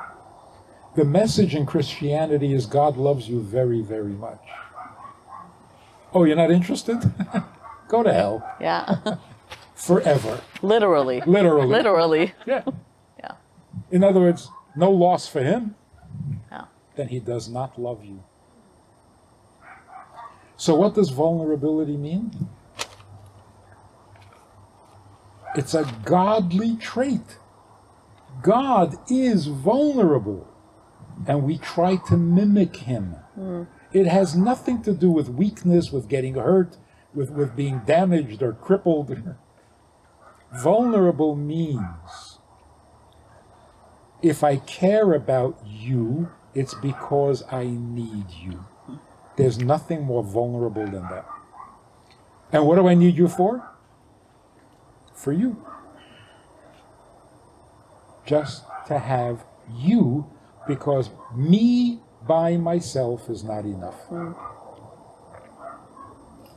So, everything God asks us to do, we don't need to do. Stop a guy in the street and I say, Come, you want to put on tefillin? He says, I don't need that. I say, Great, come, let's put him on. if you need it, I'm sure you'll take care of it yourself. You don't need my help. But you don't need it. So you might not do it. So here's the tefillin. Hmm. Do this because God needs it. We need to become better at things we don't need. Like being good for nothing. Hmm. But we have to be convinced that God is infinitely vulnerable, not less vulnerable than us. Because if, if vulnerability is a strength, well, we're not stronger than Him. So if we have the strength of vulnerability, He has it infinitely. So we're serving God literally. Like some guy says to me, I would not serve God if he weren't perfect. I said, wait a minute, if he's perfect, then you can't serve him Wow. because he doesn't need you. Right. When we say serve God, we mean do for him something he needs infinitely. It's scary. It's Like when you- foreign. It's foreign. Yes. It's foreign for an egocentric human. That- That's going back to when I find out that my mother needs me. That's scary Yeah. because I need her for a couple of bucks, you know, and to be in the will. but but she needs me. Yeah. That's scary because she's old and mature. Why would she need me? So it's the biggest compliment in the world, like the little girl who uh, thinks God is angry at her. Yes, God is angry at you because he's vulnerable. If you don't keep Shabbos with him, he's like a religious guy whose family doesn't want to join him. So we're turning the world upside down. Free choice consists of making the decision. You can either be needy or needed. That's the difference between secular and spiritual, between mundane and holy. Everything needy is human and finite and depressing, restricting, and everything holy and noble is being needed. Mm. It's such a relief. One, one more thing. Sure. Imagine, just a little uh, anecdote. Imagine a mother asks her son to make her tea every day, three times a day, like Shachris, Mincha, Mariv. And he does. Three times a day, every day, he brings his mother tea for 50 years. At the end of 50 years, he discovers that his mother never drinks tea. She doesn't like it, she doesn't drink it, she doesn't care for it. So he says to her, What was this? What was that all about? She says, Tea doesn't mean anything. That's trivial, that's petty. Mm. I wanted to give you the opportunity to get closer to me. Wow. Hmm. bad mother. Very bad mother.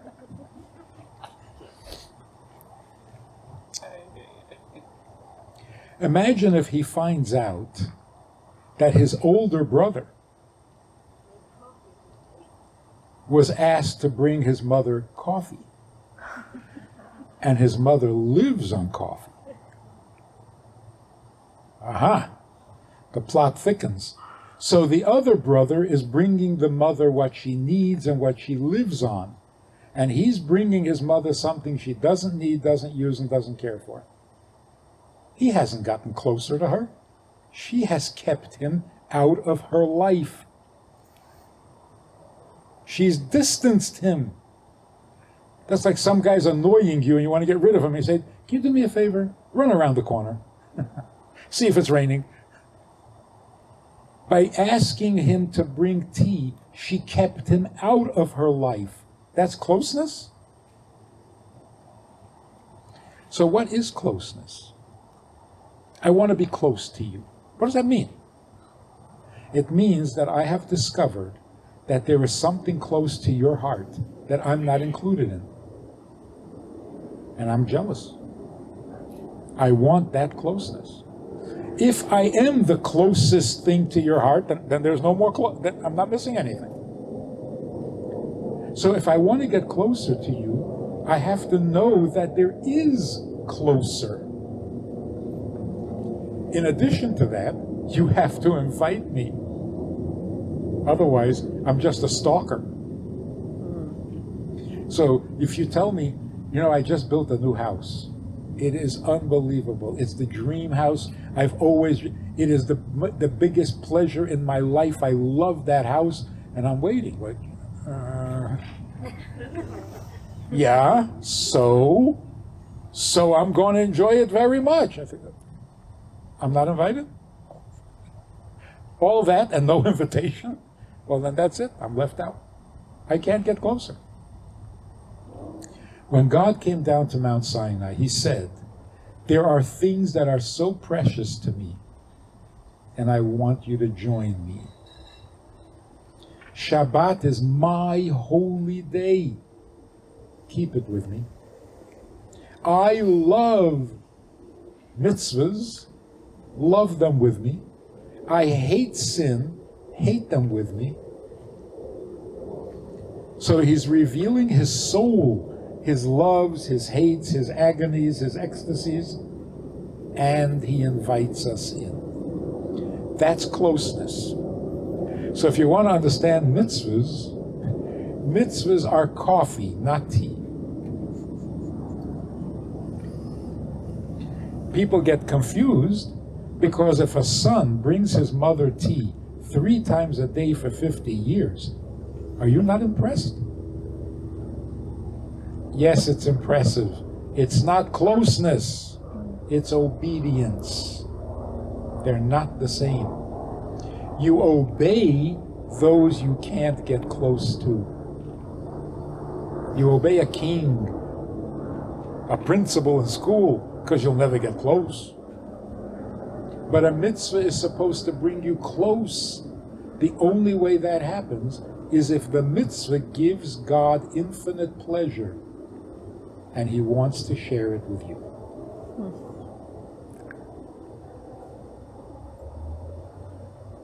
Do I still need to eat? Who cares?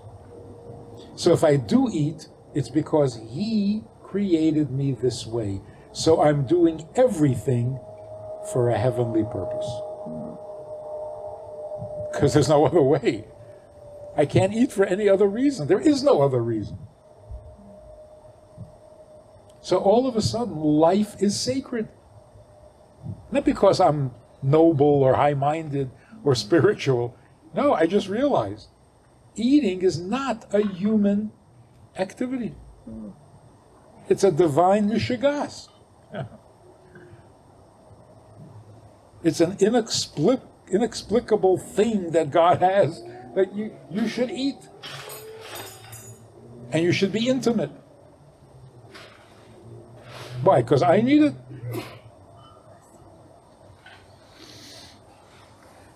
So everything we do ends up being following God's script.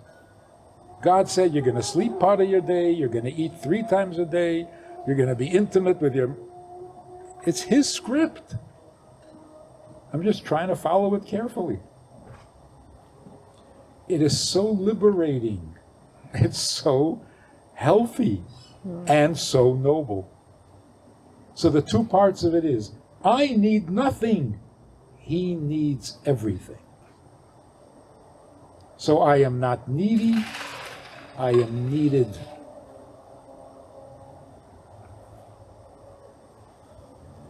When God came to the Jewish people and said, I have a Torah, I have mitzvahs, are you interested? They said, Yeah. What else is there to do? Hmm. Because they already had no needs. And that's what it means, the first commandment. God says, I am God, your God, and I took you out of Egypt. You know what that means? The Kabbalah behind that. I took you out of Egypt. Your needs are covered. Now, you want to hear mine? Hmm. And since then, we have no needs. We've outgrown needs. I took you out of Egypt. Done. Now, listen to what I need. That's Judaism. And that's the only thing that's going to save the world. We have to spread this message to the world. Stop being needy and demanding things from God and start serving Him. That's why we're here. It's not just a good idea, it's the idea. The idea. It's not a purpose, it's the purpose.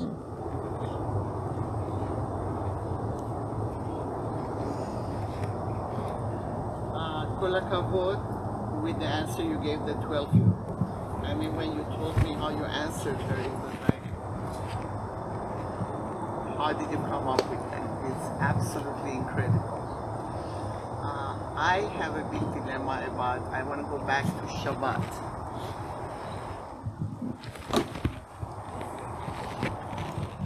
I, I am nowhere close to keeping the Shabbat the correct way, but uh, since I know I am not capable of that yet, I promise myself that I will take step by step, baby steps.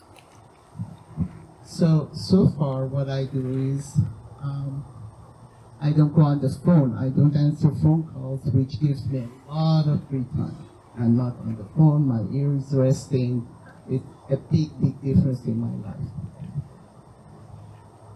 I don't like uh, any fires. I don't cook. I. Uh, but the free time, the brain goes in places it's not supposed to go. I usually during the day keep myself very, very busy. I'm a busybody. I don't sit idle, so I don't have a lot of time for that.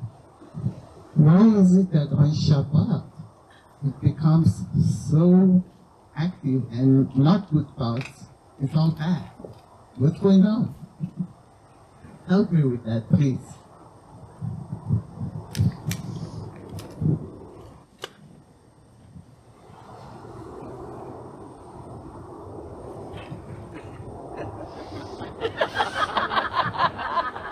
Not your problem? Not your problem? I have my my answers, Go but ahead. they're not going to be anything compared to yours. It'll probably be more practical. So. I mean, this was part of what we discussed in our in our promo video, where I believe, you know, we know that that Shabbat during Shabbat we're given an extra soul, an extra holy soul, for those 24 hours. What I have seen is that this is not a this is a very common thing where that extra soul comes in, our human conception of that soul or, or relationship with that soul moves into a place of wanting to create.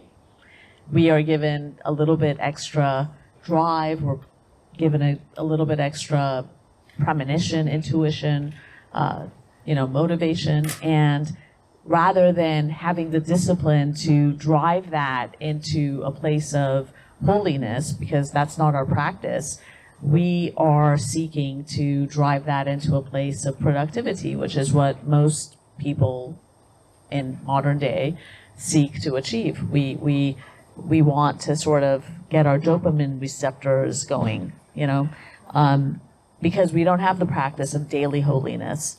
Whereas I think that if you practice Shabbat correctly, it is not a day, it's not on that day. It is a practice that begins on the first day of the week where you're prepping for Shabbat.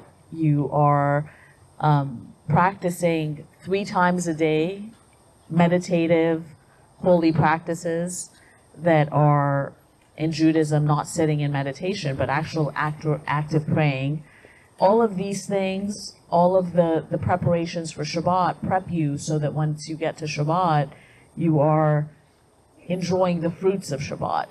But if you're not prepping for Shabbat all week and you're not engaged in any kind of spiritual activity all week, then when you get to Shabbat, there is a conflict.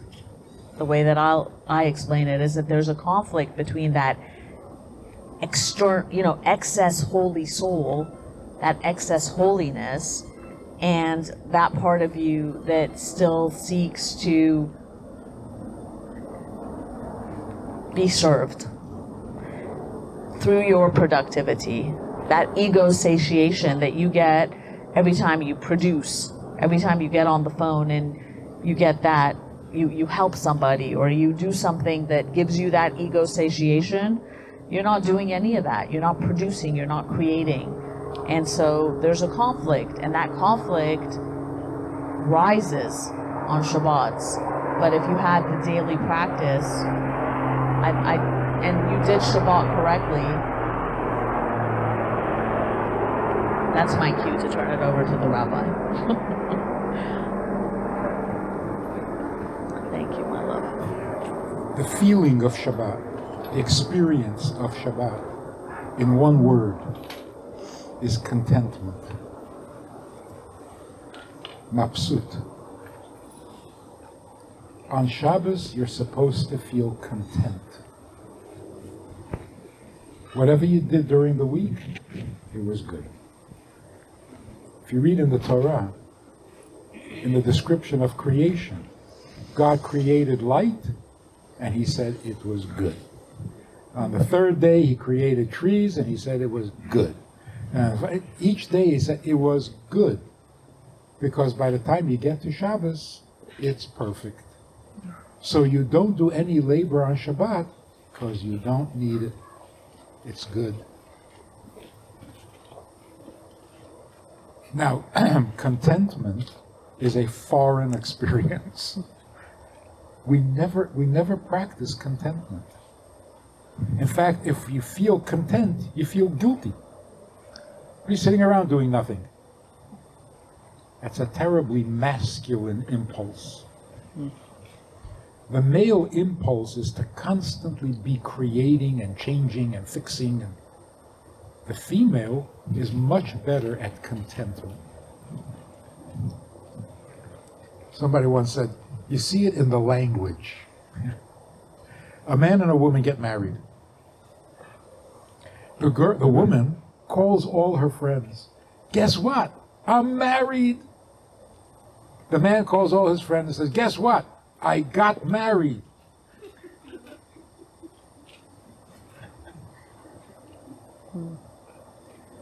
Men don't understand women because you're content and they can't figure out why. Women have a capacity to be content which is why they're good nurturers. Because if you're not content, then, then you're preoccupied, you can't nurture others. To really be present with a baby, no man can do that. Mm. He's holding the baby and it's delicious and it's wonderful. And he's thinking, how am I going to pay for the college? and the baby feels the stress and starts to cry. Yeah, how are you going to pay for the car? So Shabbos is the practice of contentment, and it'll take some practice. But this is what you're looking for. You're looking for that relief, that deep breath where you can just let go. It's good. You think about your grandparents. Their week was misery. Miserable. How did they survive that life? Shabbat. Because when Shabbat came, they were king and queen. Content, life is wonderful. We have a piece of bread with a piece of herring. We're top of the world. During the week, they worked hard to you know, change or fix whatever they could. But when it comes to Shabbat, I got no needs. I'm fine. It's wonderful. Life is great. You practice it, you get good at it. And then Shabbos, myself I'm content, which I feel I am. I, Baruch Hashem. well, then you don't need to run around to do something. Right? What am I going to do with this? Right. So, so the advice is you learn to do Shabbos stuff. You read, you learn, sleep a little more, but feel the contentment. Otherwise, you're driven. We're, we're, we're trained to be driven. Don't waste time. Be productive. What are you doing? During the week, that's great. On Shabbat, if God can relax on Shabbat, we should be able to do it too because it's not my world. I don't have to worry about everything. So I have the question of my life regarding Shabbat, which is I've discussed it with some other wise people, but when I come home, at the time I think they answered my question, and then I come home and think about it, and I'm like,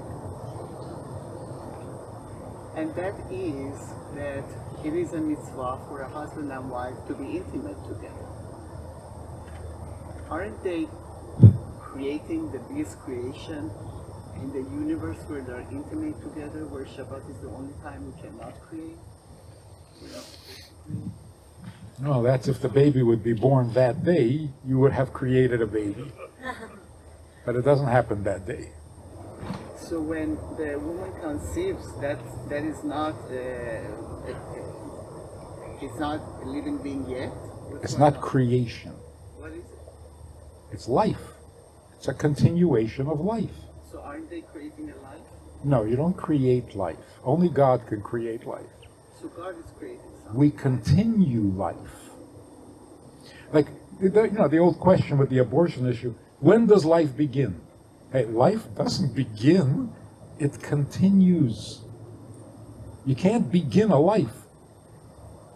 You can't go from not alive to alive. It starts when the sperm and the egg con- con- conceive. That's when the life begins, Yes. isn't it? No, that's when it continues. The same way that the same way that I would say when you are, pass on, you are not. It's not the end of existence for a soul. You are continuing. It's nothing spiritual. It's just a biological process. You eat and you digest the food. It's not called creating. It's being a living being. That is a, an automatic thing that happens. Yes. Eating and automatically it's digested. Uh, yeah, Preg- pregnancy is also automatic. See that? I cannot accept. Why- how is My that- Sabra mother is not going to let this go until it makes logical sense for her. how is that? She's very logically oriented. Bless her. I'm sorry, but this is one thing. See, everything else you explained made complete sense to me. But why- why is getting pregnant any- to- but not to me. Why is getting pregnant any different from gaining weight? That's very different. Why? Wait, with a life being created, is you're comparing them together? Yeah. It's a You can say, biological process. you can say you're creating extra fat cells, but, but are you, but that's gaining weight. It's the same fat cells that are getting bigger. Okay, so there you go. And it's the same soul that has been in existence coming into its next stage of evolution. It's not a creation. Well, the soul is certainly not a creation. Are you creating a body? It's the beginning of that, isn't it? It is. It is, but creating a body is a biological process. It's not something new or foreign. It's a continuation of life. Cells reproduce. Life goes on. Also, we believe intimately is holy thing, isn't it? We believe it's very holy, so that's why it's a mitzvah. It's a very The mitzvah is not to have babies. The mitzvah is to be intimate. intimate, yeah. So even if you're not having a baby, That's one of the things that happens. But Sometimes. yeah, it's a continuation. But but again, the intimacy is what's important, even if you're not going to have a baby. That I agree, and I'm a hundred percent for it. I'll tell you Okay, there's, there's, there's one other thing. One other thing. We're, we're not good at time. Handling time. Free time makes us crazy. I I don't know why, but you know, during vacation time, more people get killed, more people get into accidents, more people commit suicide because they have free time. Why are we so afraid of free time? We feel guilty. I'm not doing anything. I'm going to get criticized for not doing anything because we're so programmed to to, produce and to. So we have to learn how to be productive spiritually. Learning, reading, that's the main thing for Shabbat. But that little voice on Shabbat tells you you're not doing enough, you're not doing enough. What do you tell that little voice? That, that's what I'm sitting like. I get up, I go to synagogue, I'm okay, and then all of a sudden, like around two in the afternoon, you're, and then a lot of people start screaming. Yeah. You got this to do, you're not But doing it. you know that you're not allowed to apologize for your sins on Shabbat? Oh, we are not. Really interesting. Because apologizing for your sins is correcting the, the mistakes or fixing the problem. No fixing, no correcting. Everything is good. And I thought that's the holiest of the holy for things like So that. again, for me, I feel like this is this is more of a I mean, everything emanates from the spiritual, but it's a psychological battle where your entire life you're going to be battling your yourself, you know, two two parts or more for some people of your mind are battling each other.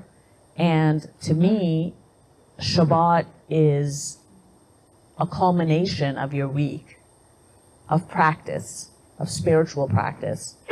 And if you jump into Shabbat without preparation, it's virtually impossible to do it correctly.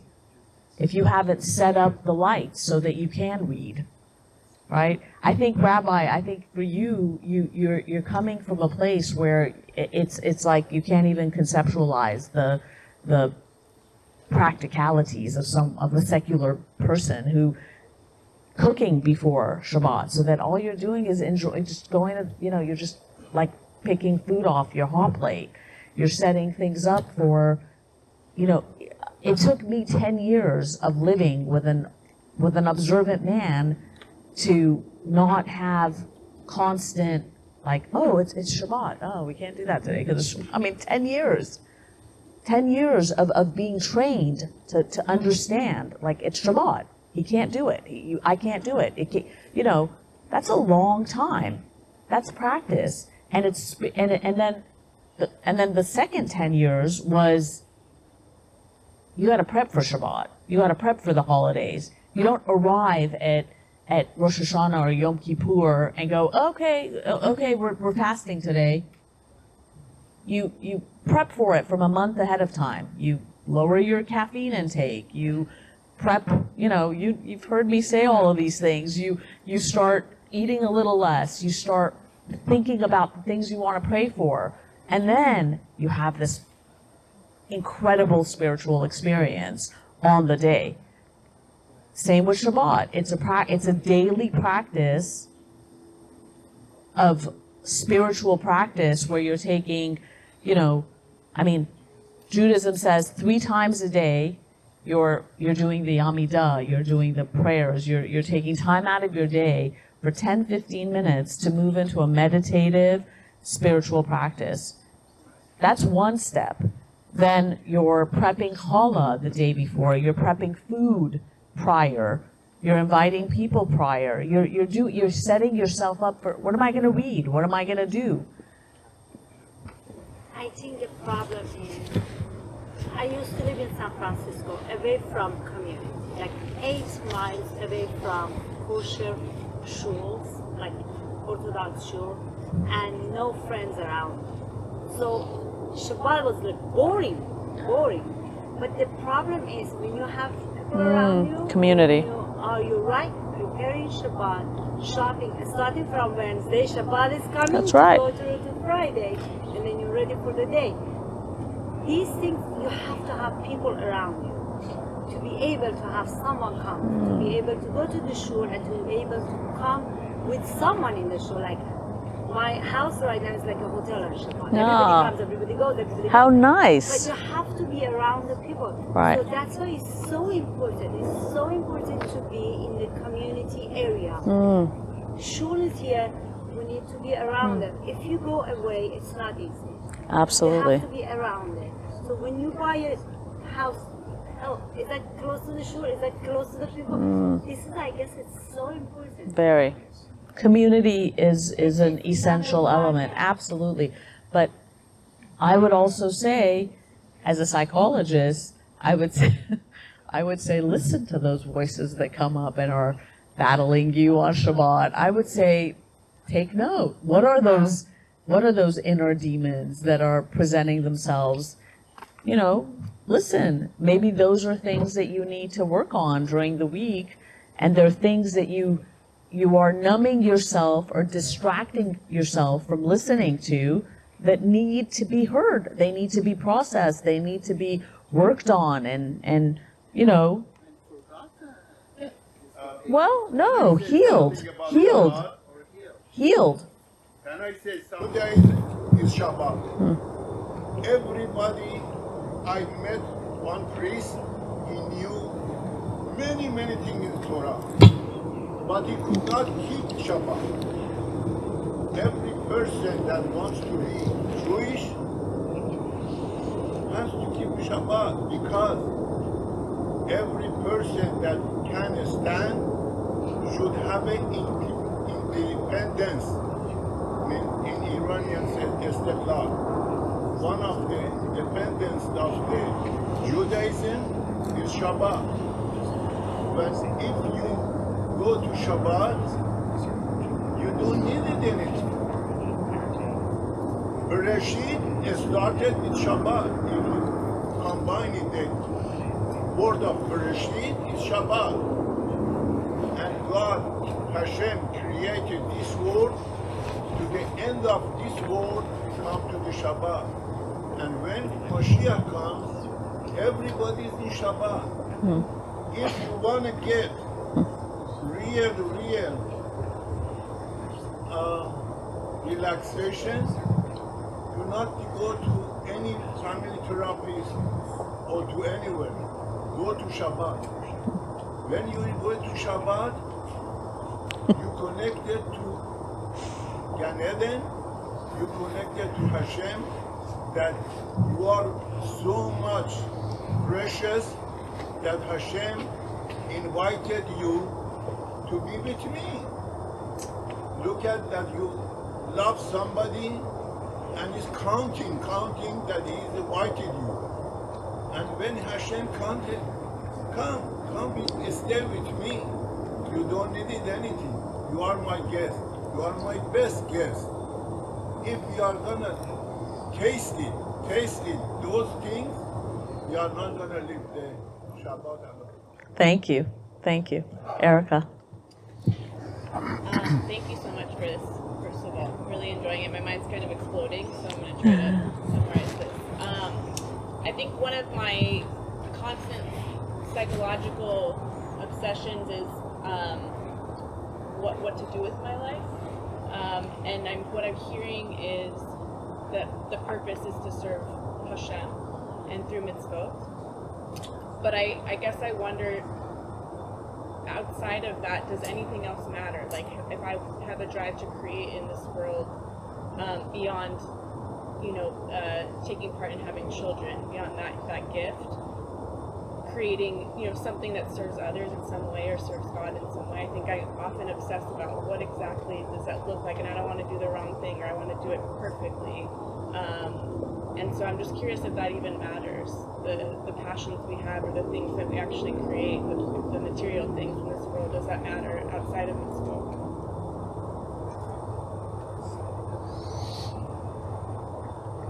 Even eating lunch matters. It's all godly. So God gave you a need to eat, it's a godly thing. If God gave you a talent, it's certainly a godly thing. Nobody gets talents for nothing. You're given a talent because God needs you to use that talent to the best of your ability. And through that, you make the world a more livable place so that God can be comfortable in His world. So if you add beauty to the world, that's fantastic, godly. You add joy and laughter to the world, it's godly. The sages say that a, a person, a comedian, who makes other people laugh have a special place in heaven.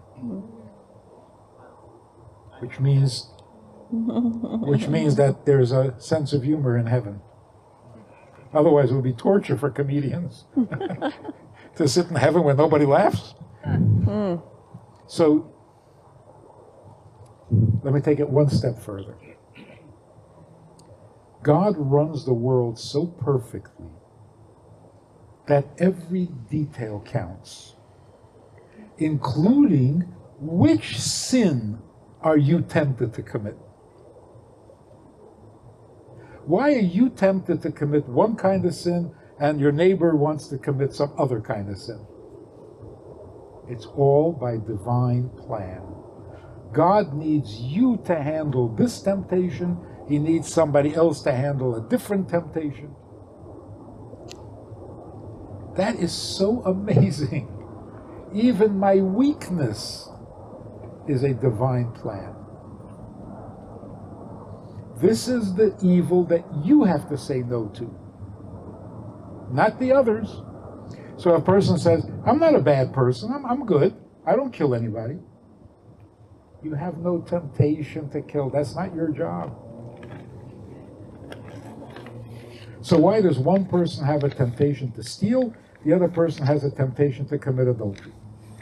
It's not an accident, and it's not you doing it. Isn't that amazing? So, why do I have this temptation? Because that's the temptation that God wants you to fix. It's not an accident, it's not your fault, it's not, it's not, you're not doomed. This is your job. Do it. If that's true of sin, it's certainly true of talents. So if you have a talent, use it because God gave it to you and you should not waste it. If you can get rich, do it. If you can be funny, do it. Anything that makes the world more inhabitable. And that's true of non Jews also. We all have to make the world a better place. In every way, in every detail. I was speaking to the police department here in, in LA. You know, when the whole thing with defunding the police. Mm-hmm. And they took it very seriously. There's a Jewish lieutenant in the police department, and he called. He wanted to talk about, you know, well, what's happening? What are we supposed to do? So he says uh, something like, uh, Do we have the right to enforce the law? I said, No. You don't have a right. You have a divine uh, commandment, an obligation to enforce the law. It's not your right. You have no, you have no rights to tell people what to do. If you serve as a policeman, you're doing God's work. That's not a right, that's an obligation. So a policeman doing his job properly is serving God because he's making life livable. Whatever it is that makes life safer, more comfortable, more doable, more enjoyable, and more inspiring, that's God's work. So, yes, every talent, every ability you have, it's holy. I just have a philosophical question. Why, why do we have so many wrong-headed Jews in this world who are not making this world a better place? They're doing the opposite. Self-hated Jew. What's Hmm? question? Self-hated Jew. Mm. Actually, Jews, more than anyone in the world, are making this place a better place. The only problem is, most Jews are doing what non Jews are supposed to be doing and taking away their jobs. We make the best music, we, we invent the best machines. We're, like in Israel now, the technology. That's not our job. But we, we're so driven to make contributions, we'll even make the wrong contributions. But we win the Nobel Prize. What is all that? That's all making the world better. But God is saying, I have 8 billion people doing that. That's not what I need from you. From you, I need to make the world better Jewishly. It's, it's, uh, we're, we're, we're learning the lesson slowly. Well, I'm not happy with the Jews overall. That is so Jewish. It's also extremely important to not identify Judaism with the Jews that may be misrepresenting the faith. And that's one of the primary mistakes most Jews make. They throw the baby away with the bathwater, which means they will find Jews that present themselves or um, translate for themselves the Torah in a way that is not by the book, and they will immediately decide that that is what Judaism is. And so they will actually divorce themselves from Judaism, and some go as far as divorcing themselves from their own creator because of what they see humans represent. That is a deeply um, it's a treacherous mistake because you are shooting yourself in the foot because you may not like your fellow Jew or come across a fellow Jew and then you associate that with Torah. Has nothing to do with Torah. Torah didn't tell this person to, you know, represent the Torah in that way or behave in these ways. So that's something that unfortunately a lot of Persian Jews, especially in this city, do because we were thrown into a situation where most of our parents had to leave a country they had spent their entire lives building their life, building their fortune, making their money, and they had to come out in middle age, which is not an easy thing to do, and start over again in a country that was like dog eat dog. Capitalistic country that was not an easy place to start over. So some people went for the jugular. They, they, which means they, they would step on anyone, do anything, get, you know, to feed their families. to build their fortunes.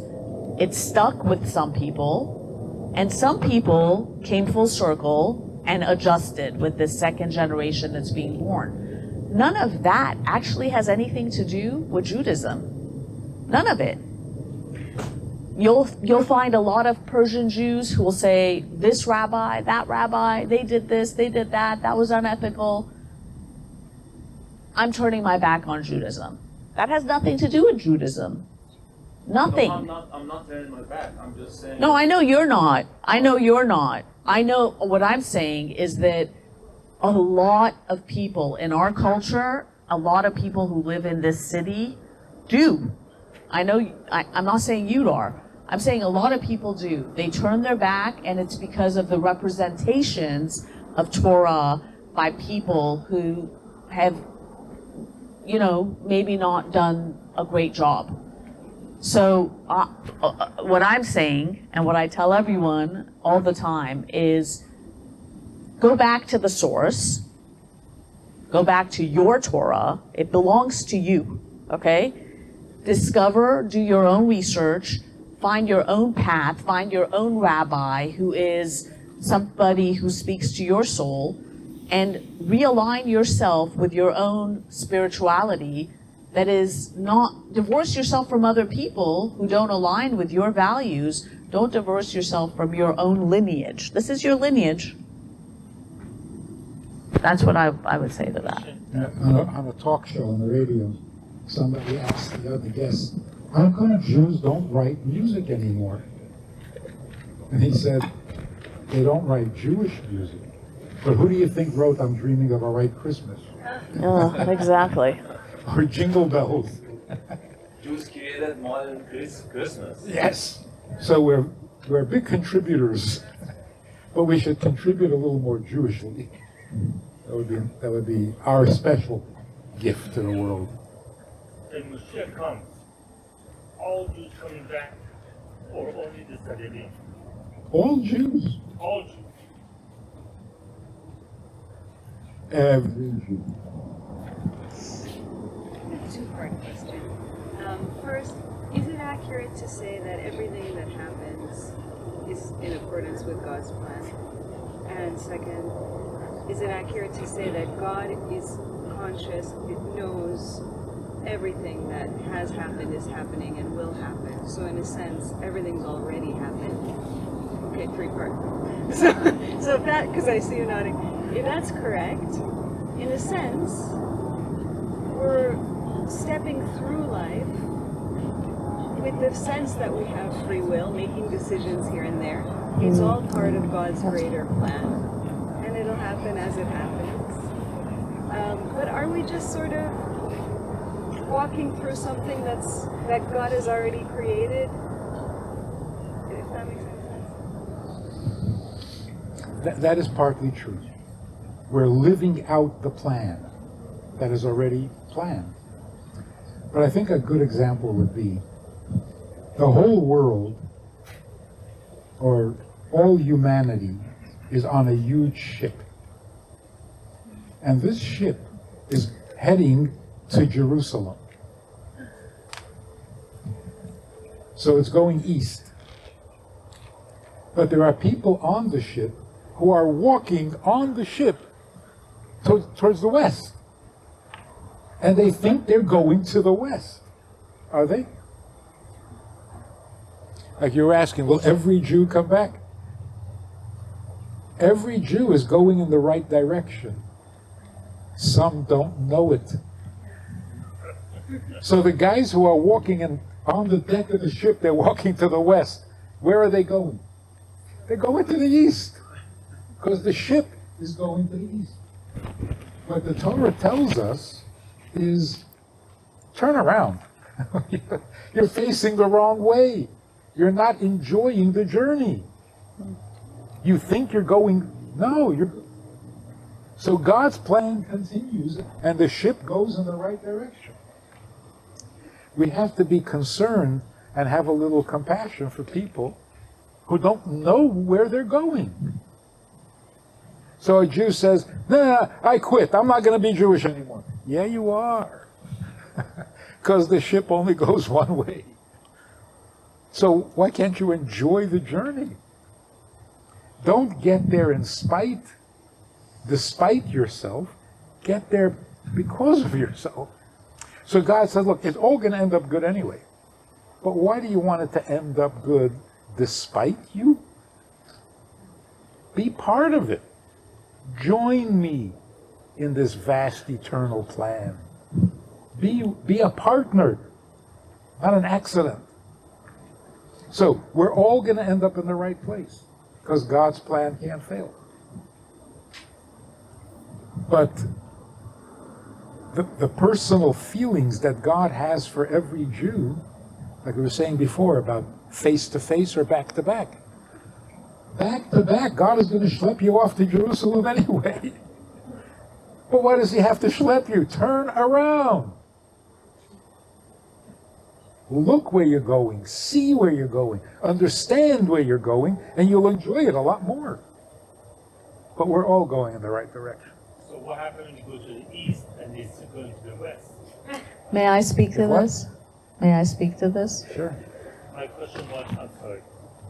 Um, what happens when the ship gets to the east and they still going to the west? You don't understand the Not going to happen. Once we get to where we're going, everyone will understand They get, they all get up the ship. and love it. This this was one of the, the questions that created the most existential angst for me as a teenager and growing up. And so I I feel like I spent a good portion of my life trying to find the answer to this, the nuances of it, and I'd love to sort of have your input on it.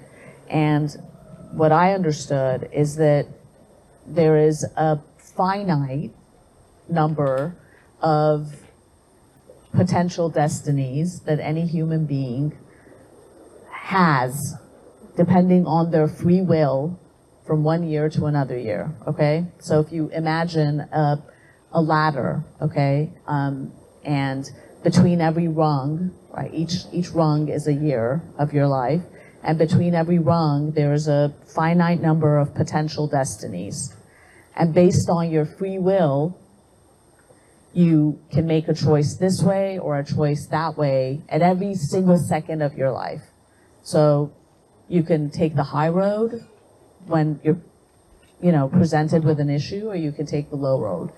And each one of those choices you make within those two rungs will qualify you for the higher level of your destiny. I mean, the ultimate is that, but from the year to year, it's where you're locked into the following Rosh Hashanah, you're locked into now you, you, you, you've earned this level of potential destinies where your free will will lock you into, or you've kind of denigrated yourself a little bit. So for me, that was important to know. It was important to know that you, the more you learn and your, your, your free will has there are, you know, everything Hashem knows, and at the end of the day, and at the end of your life, you end up where you're meant to go. But the journey can be one that is pleasant and beneficial and uplifting and um, can serve you in, in a way that you can enjoy your life in a different way, or you're going to keep getting a wrecking ball to your life to try to wake you up to the potential you have to spiritually evolve. And that's where your free will comes into play. So your decisions at a minute to minute basis do make a difference within this finite level of different destinies that are the potential. Um, so you are working, you know, hand in hand with Hashem's plan for you. But at the end of your life, you know, you're on that ship and you're going to end up at the destination that you're meant to end up at. Is that, would that be a correct way of kind of explaining? Yeah, that's what I mean. That's what I mean by turning around. Mm, You're going. You're going to end up anyway. Turn around. Enjoy the trip. gotcha. Be part of it instead of. Gotcha. But why do we have free choice? Why should we have free choice? We make bad choices. 20 years. So why would God give us free choice? Make all the decisions for us and we're much better off. And we better let him make the choice. That is the answer. Right. that sounds nice. We have free choice only where we must. God gives us free choice only where he has to. Where does he have to give us free choice? He has to let me choose which house to buy? Let him choose it, it'll be better. Which job to take? Who to marry? Let him choose it. There's only one thing he cannot choose, and that is whether I love him. If he wants me to love him, he has to give me freedom of choice. Why? Because if he makes me love him, I don't love him. So the only area in which we really need free choice is how we react to him. Love him, fear him, hate him, because he wants a real religion. And that's why being an angel is not real. It's not, an angel doesn't love God. He's programmed. It's a clone. So, where do we really have free choice? Only in our reaction to Him. And the rest of it, we don't need free choice, and we shouldn't have it. God chooses where you're going to live, who you're going to marry, what talents you're going to have, even what temptations you're going to have. The only thing you have to choose, and He cannot choose for you, is your love. Because He really wants you to love Him. Not He should love Himself. By making us love Him, then He's loving Himself. So when we talk about free choice, it really is limited. We don't have that. Like somebody, somebody said, I can marry whoever I want. Wow, that's impressive. Because there are about 3 billion men in the world, and you can marry any one of them. Wow. Well, actually, you're not going to meet 3 billion men. So let's reduce it down to reality. You're going to meet 20 men. Of those 20 men, 19 of them don't want to marry you. So what just happened to your great freedom of choice? There's one guy wants to marry you. You're going to say yes or no. That's it.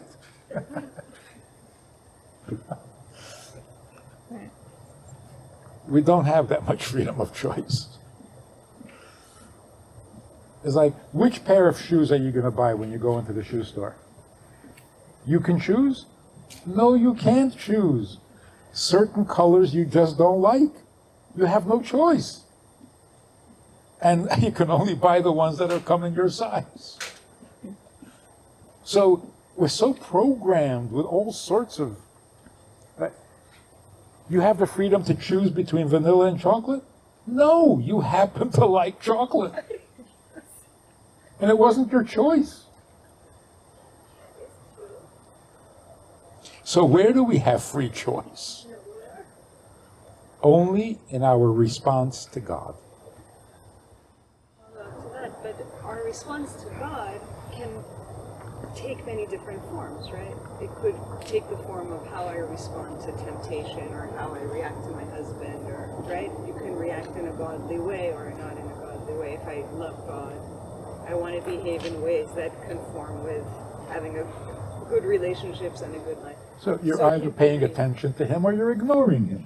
There you have freedom of choice. Mhm. But in the many different aspects of life.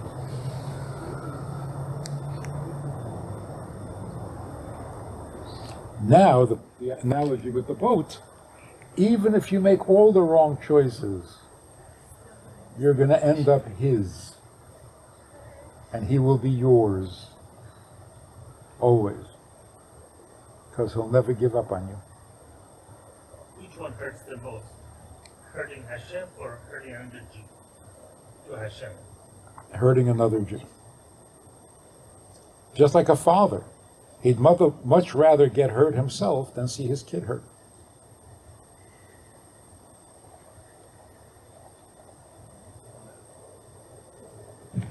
Rabbi, your brilliance is reaching the masses. My lowly state is going into the the nuances. So if you if your choices are erring on the side of not the higher level choices and you culminate at the end of your life with having made the lesser choice rather than the better choice, the place that you attain in the world to come is a lower place rather than a higher place. And with that comes discomfort rather than pleasure, right? Isn't that an important thing for people to know?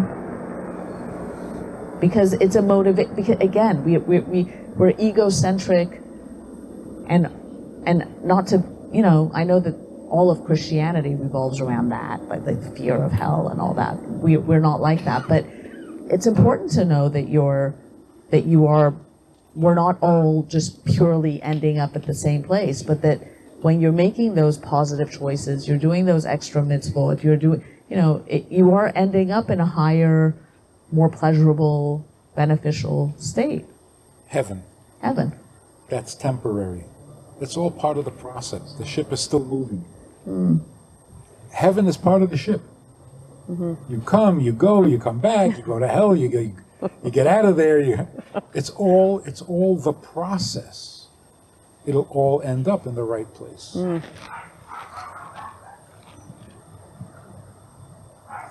The beauty of it, the question about God already knows, so where do we get our freedom of choice? The question exists because we have an assumption. First, God makes a plan, written in stone, and then tells you that you have freedom of choice. Doesn't make sense? But it doesn't happen that way. God doesn't make a plan until after you made a choice. Hmm. So, divine providence, the entire plan that God has, is built around your choice. Wow. That's, that's how a relationship should be. Hmm.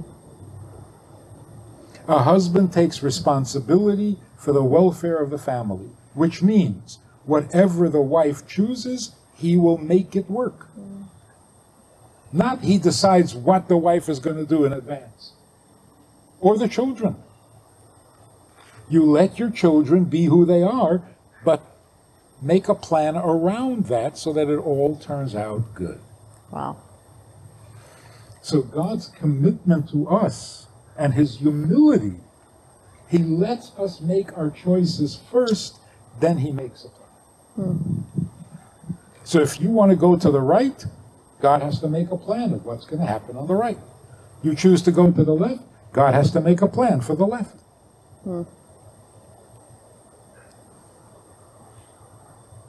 There is so much romance because our relationship to God is the ultimate, um, the ultimate mold for all relationships. The way you relate to God is how you relate to your spouse. The way you relate to your spouse is how you're going to relate to God.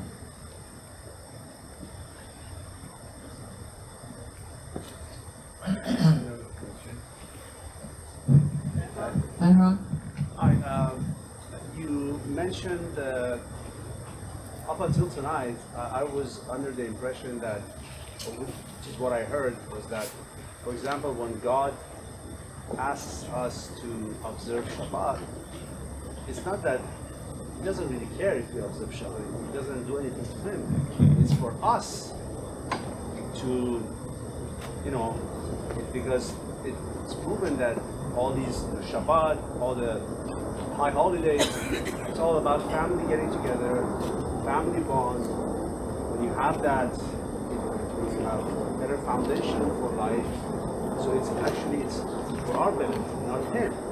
But what you're saying is the opposite of that. That we all do it because of his needs, not because of our needs. So it's like complete opposite of what I've been hearing. Yes. Yes. But let's take it a step further. Let's say God gave us the Shabbat so that we would have a day off to spend with our family. Michael. What does he care? You just changed what he cares about. First, you thought he cares about Shabbat. No, he cares about family. Right. Why does he care about family? It's important to him that you should have a happy family. Okay, if that's what he wants, let's give him a fa- let's give him a happy family. It's easier to keep Shabbat.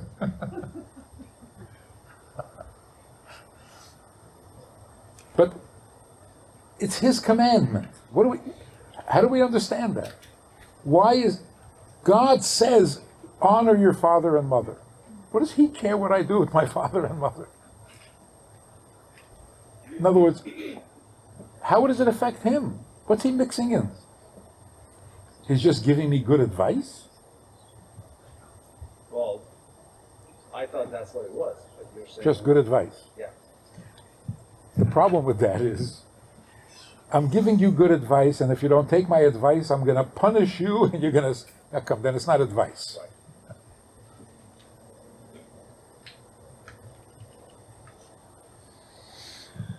It's more important to God that you honor your parents than it is to your parents. Hmm.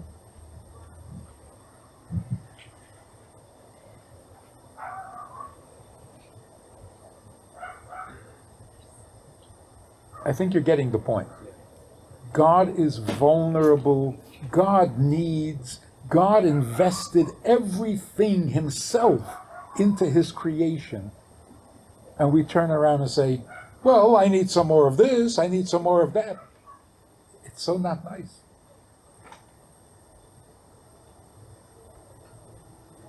So even a person who says, I need to be a good Jew, stop it. You don't need to be a good Jew. I need to be a good husband. No, you don't. Your wife needs a little attention. Stop being a good husband and take care of her. That's a relationship. I'm going to be a good mother. Oh, yeah, you're going to kill your kids. Don't be a good mother. Just take care of the kids. Because it's about them, not about you. So in marriage counseling, this guy says to me, I'm I read some book, I figured it out, I know how to be a good husband, I'm gonna do it. I said, Oh, your poor wife.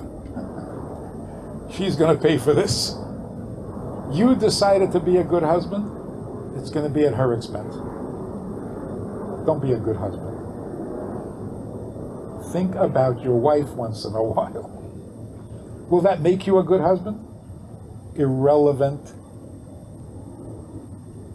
If you do 613 mitzvot, will you be a good Jew? Irrelevant. Who asked you to be good?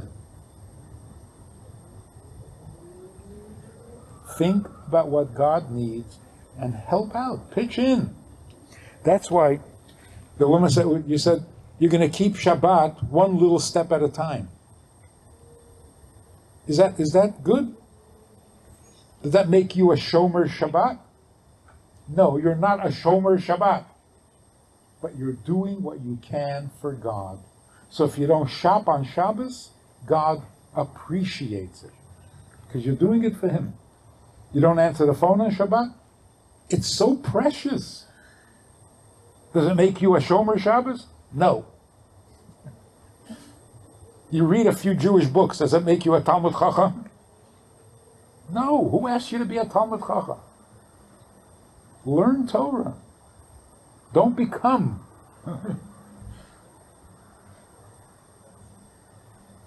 a silly example. Somebody asked the Rebbe, she, she was looking for a job to make some money. And she said, Would it be okay if I become a typist? Back in the old days. The Rebbe said, Make a living typing. Don't become a typist. Be a human being who types, but don't become a typist. Take care of your children. Don't become a good mother. Think about your wife and husband once in a while. Don't become good at it.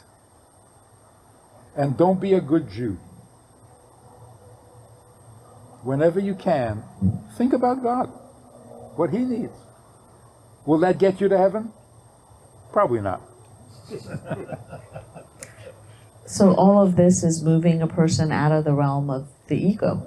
Essentially, everything I'm hearing you say Yeah. is But the but the beauty of it is you're not giving up anything because you never needed it in the first place. and counterintuitively, it's the ultimate form of evolving yourself. Ultimate. Full circle, yeah. Full circle, full circle, full circle moment. One of the best things in our life is appreciation. And when we appreciate, gives a sati- sati- satisfaction to all, and we, release. If God means, so why we are appreciating our worship to God? We are, we are doing for God, for Hashem. So, so why we are appreciate? Appreciate what?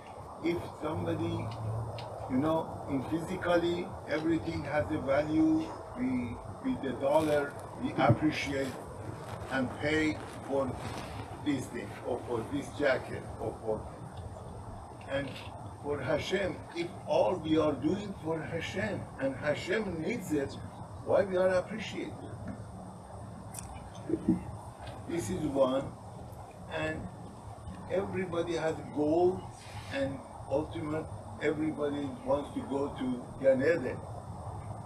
If you are not going to experience it, experience Gan Eden here, how can you realize over there what and why we are not going to bring Gan Eden over here? Every human being can do everything. Why only that you are you are waiting to go over there? You're right. We are not supposed to get to Gan Eden. We're supposed to bring God down to earth from Gan Eden. So if you're going to Gan Eden, you're going to miss God because He's coming down and you're going up to an empty Gan Eden because God wants to be here. What do we appreciate? That He involves us in His plan. You're letting me be part of your plan? You're giving me a little credit for making the world better? Very grateful.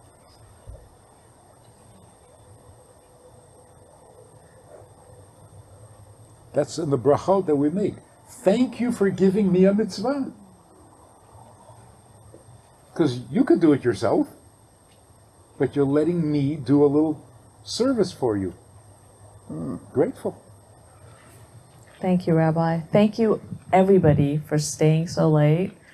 If you enjoyed this conversation or this topic and you're looking for more information or you want to hear it again from another angle, there's a way to do that. And that is in this book. It's all there. Order it from Amazon. You can read it, reread it, and share it. We have a Sunday night program for VIPs that you might be interested in. It's informal, it's questions and answers, it's conversation. It's really relaxed, it's really pleasant, enjoyable, informative, and uh, kind of community like. It's a Sunday night program, there's a um, Wednesday morning program for the VIPs, and there's a Wednesday night program. All of it just conversation, casual, laid back, unscripted. So join us, take a look, click uh, the link below, and see which, which of the three suits you best, and join us for some enjoyable conversation.